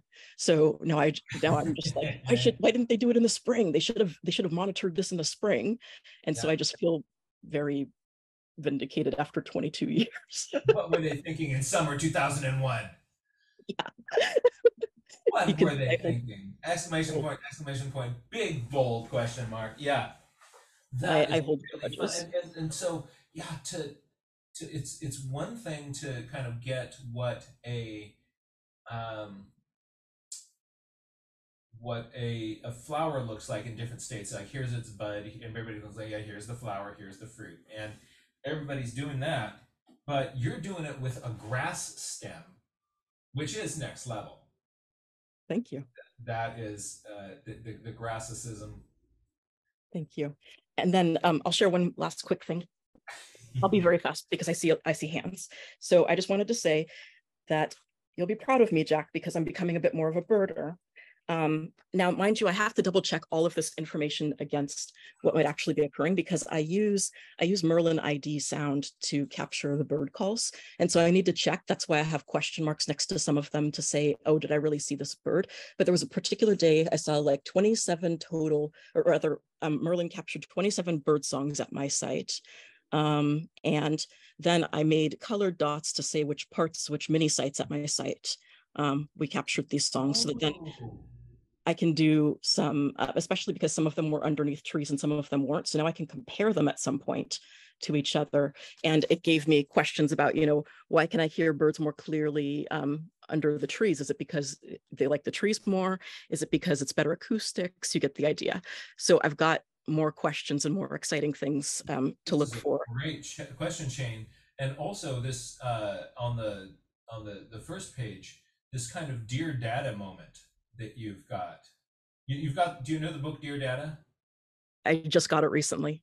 Uh, that that you're you're totally uh, inventing a new way of recording data, and I, so I love this this this thing with these little dots with different colors for each site as a way of recording that information. That's fun. Thank you. I promise I'll be I'll make you proud yet. I'll become a fledgling birder and and follow in your footsteps. So thank you. uh, Avea, that's great. That's really fun. Thank you. Um, Sarah, um, I'm going to ask you to unmute before I bring you on. Now, pow, there you are. And. How about that? Hi. Um. I am going to um, try to go out of the background here. There we go. Um, so I can share my page. Um, so I'm just completing um, the California Naturalist Program again. Um, so I actually presented my capstone project last night, and tonight we've got some more people pre- um, presenting. But what I decided to do for this class, um, partly because in celebration, partly of you, John, because um, I first learned journaling in 2017 when I took the class the first time, and I got the How to Nature Journal book and taught myself how to draw. And that was the beginning of this. So I gave myself permission to start a brand new sketchbook for this class specifically. I like to decorate with stickers on the front so that I know which is the front and which is the back. And I've been not only um, sketch journaling the classes, but also for our sit spots. So each week, our instructor has given us instructions on what to do in our sit spot. And for me, my sit spot was my backyard. So the first week I did the map of my sit spot, um, which, whoops, let me back it up just a little bit.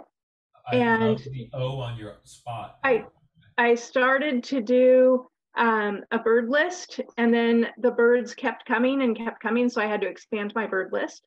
And this is a map that shows the northeast, south, and west of my sit spot, which is what her instructions were. So that was um, it was fun to be able to to draw this out. And then um, a couple weeks into it, it was the question of um, going to one specific spot. So this was my east ver- version of what I was seeing, which was a lot of goldfinches. And I was really proud of how these came out. Um, and I got poses on the bird feeder. Yes. And yes. oh, um, this is wonderful. Then um, we had a sense sit spot. So this one is about sense meditation. And I did um, what I was hearing, what I was smelling, and what I was seeing. So this is again the same sit spot and map, um, the bird list, some of the things I was smelling up here. Um, and I was actually drawing out where I was hearing the different sounds and mapped them. And then, And, and I like uh, you. You've I've, I've always seen NIMBY before, the not in my backyard, but you've got. oh, I use, yeah, I use it. You've got the in my backyard. Yep, yep, in my own backyard. This was about soil in our sit spot. So this one is um, was really a fun dive for me, kind of literally, because we didn't know what was underneath the gravel in our yard. The previous homeowner had laid down about four inches of gravel, and so I just went out there and stuck a shovel in and said, "What is down there?" And this is what I came up with. I still have my samples in some empty prescription bottles because I want to take a deeper dive into the actual elements of each one, but I mapped them out according to color and then what the description was and some questions that I had about it. And the exciting thing is I found soil and it drains super duper fast. So now I've got some more ideas about what I can plant back there. Um, so wait, wait, wait, go, go go back to that because there's all these ways of thinking on this page. We've got these. Yeah. Um, I, I love how you're you're getting these different soil horizons in this cross section, the little block diagram for the big picture over there, zoomed out in this um, overhead view map. You've then got um, uh, you're kind of uh, kind of coding things. There's so much thinking Yeah. visible here. This is so much fun. It, it was great. And this other page that you can kind of see is um, actually kind of copying from our textbook, but I wanted to really draw it out so it would stay in my head about these different ways that water is termed and how it looks in the landscape. So that was that was really fun. But I want to share another on my sit spot. Um, so then um, for the first week in April, it was what's changing in our sit spot. And this was rather fun for me too, because I looked at some of the plants that were coming up through the gravel and um, really studied them rather than just looking at them and admiring them.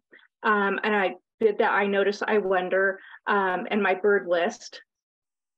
And Yeah. finally, I have one more I want to share. This one's really This is- cool. this is and this is this is a delight. this is- this is partly thanks to Roseanne that I had to do a page that actually folds down um, because I had so much information I wanted to get on this spread. And this is my sit spot again. And I'm gonna stand up so I can point to this right. Um, so this is the map of the sit spot, my backyard. And I identified A through P of different spots on the map.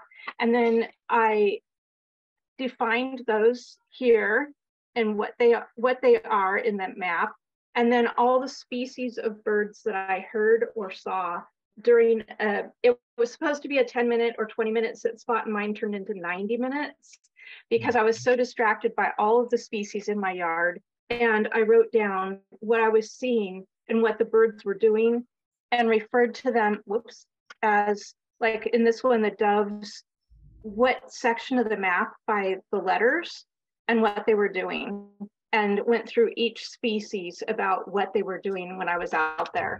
And it turned into this whole huge Oh. two page spread.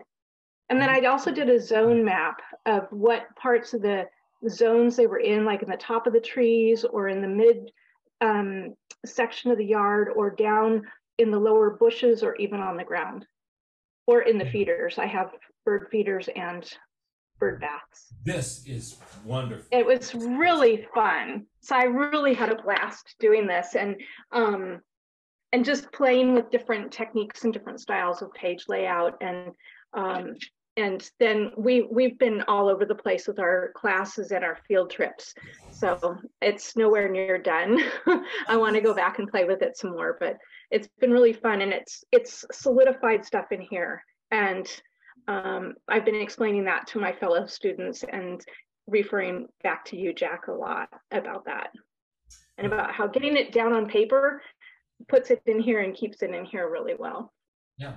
Um, Joseph Grinnell would not have been Joseph Grinnell without those journals. hmm And um, the the journal allows your brain to just hold so much more. And what I, I, I really want to point out to everybody, and I want to actually here's everybody who's watching. Here's your challenge for this week.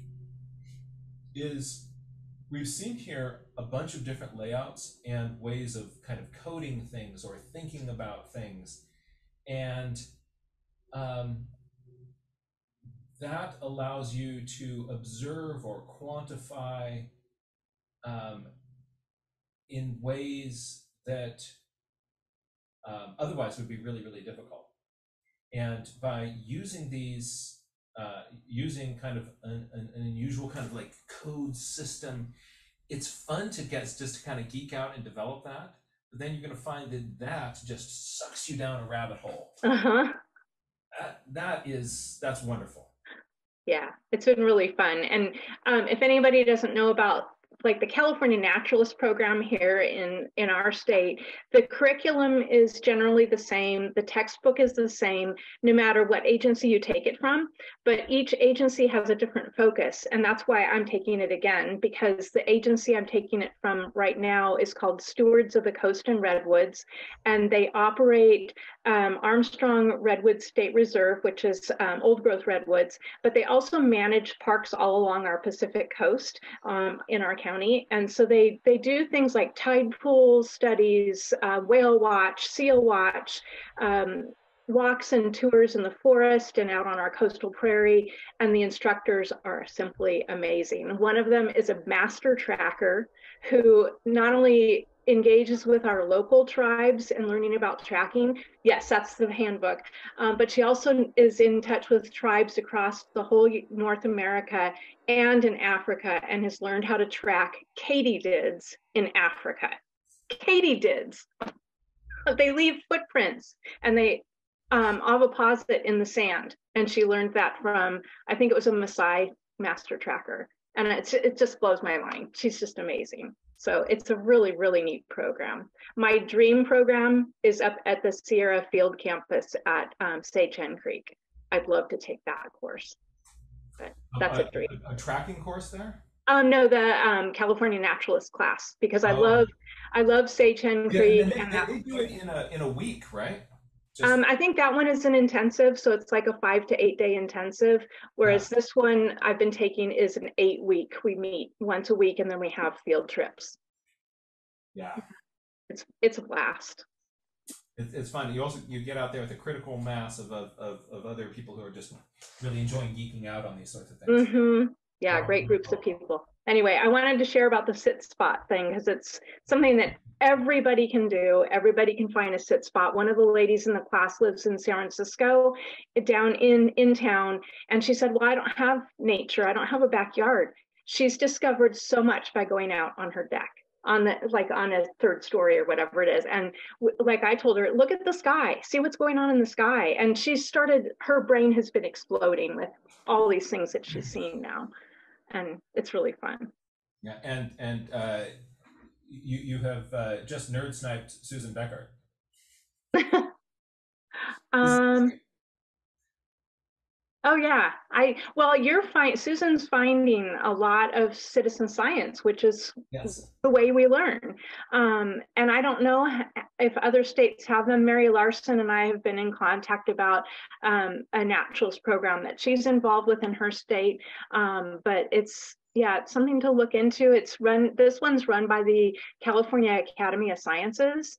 Um, and is also stewarded by University of California at Davis. So the uni university programs, I think, are the ones who are really putting these together. That's great. Yeah. So there we go. Did you find a master naturalist program in your area? Mm-hmm. Yeah. Yeah. Thanks.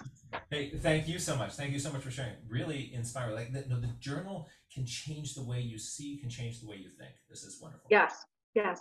And thank you for doing the clouds today. I appreciate that. I realize that I really just need to practice and stop trying to be a perfectionist about trying to get the cloud shapes just right. But that really helped. Thank you. Excellent. Thank you so much. I'm glad you enjoyed that. Um, and uh, we're going to visit one more friend today. Um, oh, no, two more friends. Um, let's see. Um, we're we've got Sarah and uh, and and Cheryl. Um, and there we go. Um, let's see. Uh, who wants to go first? Well, let's let's do let's do Cheryl first here. Um, hey there, Cheryl. It's great to see you. Hey, sorry, I've had my camera off. I turned it off at the beginning because I'm moving around. I don't want to make people sick, and then I just forget. that.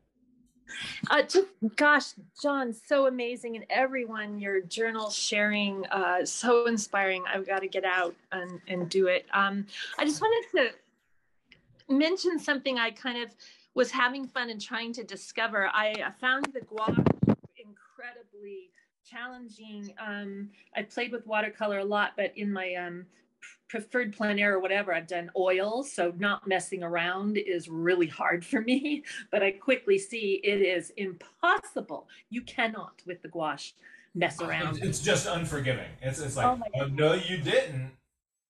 It, it was hard but what i found is i let it dry um, something i wanted to mention i know with the whole field journaling the idea you have to be light and not carry tons of brushes or types but i i was just i have i'm home so i've got this stuff in front of me and i need to work with the water brush i want to but i also find that incredibly hard it's just i got to practice with it. But i um picked up a, a i was having trouble with the water brush trying to lift water off because it's nylon, right? It's not absorbing the water. So I just had picked up a natural bristle brush to dab up the water, finding that that actually, if it's a really dry brush, like just a cheap, you could take a, I picked these up at a place called Scrap here, which is used stuff people donate. And, um, you know, you could actually take the ferrule off of an old used brush or a cheap brush and have a super small brush to have a little bit of selection in the field box with maybe some natural bristle or or these are big but you can get the tiny bris- chip brushes from the hardware store and you could cut the, off the handle you know saw it off or something and have these little almost makeup sized brushes that you could i found uh, i don't know if i could switch this camera and you could see it this is so tiny in the um, i'm really technically challenged. I'm not seeing how to switch my um, phone around so i'm just gonna flip it. Um, is that showing? Yeah so i think yeah. it might be sideways but wait i'm trying to get this one. The point is that little one in the square use, using the dried brush pulling down some of that paint. I just was trying to absorb the water but it was then you got these like in an in an indian miniature. I got like each little bristle was so dry it was just dragging down a little of the gouache and i love that you know and i i realized you could play with that with um sorry i'm too close. I, speaking of a zombie, I could play with, uh, you know, making the rain of a cloud in the distance or something with those little tiny dried bristles pulling down the white gouache and stuff like that. And then the other thing I. Yeah. was I tried a Signo um, Uniball, this, what's it called? Yeah, Signo white pen on top of the gouache because it's late, it's running out of time and it's got no definition and I didn't want to go back and re-wet the paper. This is not watercolor paper, it's getting difficult. So I just scribbled with the white Uniball, you know, over some of that. And that was really fun. And it, you know, oh, because that it doesn't it. Yeah. right? It doesn't have to be perfect. It's just about uh, entertaining myself, really, right? And getting the essence of a of a cloud and the color and the light. How can I do that if time's running out? The paper is already not going to take more water. So you know, you've introduced me to these tools in the in these workshops. This is what, only why I have them. Well, I- Um, I- and- that's a that's a great. Um, I, I love how you're you're you're you're innovating and playing with that on that. Yes, so appreciate all the um, ideas and tools from you, of course, and and and Yeva and everyone who shares. So inspiring. Thank you. Thank you. That's a really great ideas. Glad you enjoyed that, and thank you for sharing those those those, those tips. Um, so before we wrap, um, we're going to bounce over to I think Sarah. Uh, I think that was Sarah Reed who who we got to hear from. Oh, we already heard from Sarah. Okay, we're good. We're good. Um, did, was there somebody else? Are we? I think that's it. I'm going to go bounce off and ta- uh, teach this class. It should be fun today. Um, and um, I wanted to thank everybody for coming here. And um, uh, just like uh, Cheryl was saying, seeing everybody's tips and ideas and ways that people are approaching things is really, really inspiring. Getting to look inside other people's journals and kind of look inside other people's brains and see the way you think. That's really fun. I'm going to bring on the mad botanist again here. Uh, boom. And there's our brain. Yeah, getting to look at everybody's brain. That the the the the, the journal is your brain on paper. And it just uh it's you know it's a it's a it's a beautiful mind and play with it and and and share that.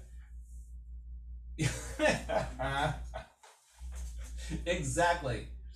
Um, hey Van, thank you so much for uh, helping facilitate and and wrangle this uh, this this meeting. It's great to see you again. It's great to see you too, and thank you for bringing us together and for and for helping us all develop our nature journaling practice and fall more deeply in love with with our beautiful planet. We'll be hopefully using your skills on Earth Day. We we will we will. Uh, so if you folks um, again, if anybody's in the Bay Area, uh, want to encourage you to come on out and uh, join us out um, at uh, Seal Point, and uh, we'll be um, we'll be doing a little bit of a cleanup.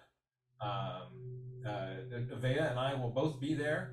Um, we're going to be wearing some grubby, muddy clothes that we can actually go out into the bay to rescue tires and things that might have rolled in there, which would be fun. Come on out and play. And then we'll eat some food, and then we'll go check out what's up with Daniel Smith. And um, it'll be a lot of fun. Looking forward to seeing you there. Looking forward to seeing everybody else there. If you're not going to be there, we can make a difference in other places. Um, just find some place where you want to go journaling, and just when you when you leave, have made it a little bit of a better place than it was when you got there. And no matter where in the world you are, we'll be thinking of you. That's right. We'll be together. Thank you all. Be well, be kind, stay curious, and keep that journal at the at your fingertips. Bye bye.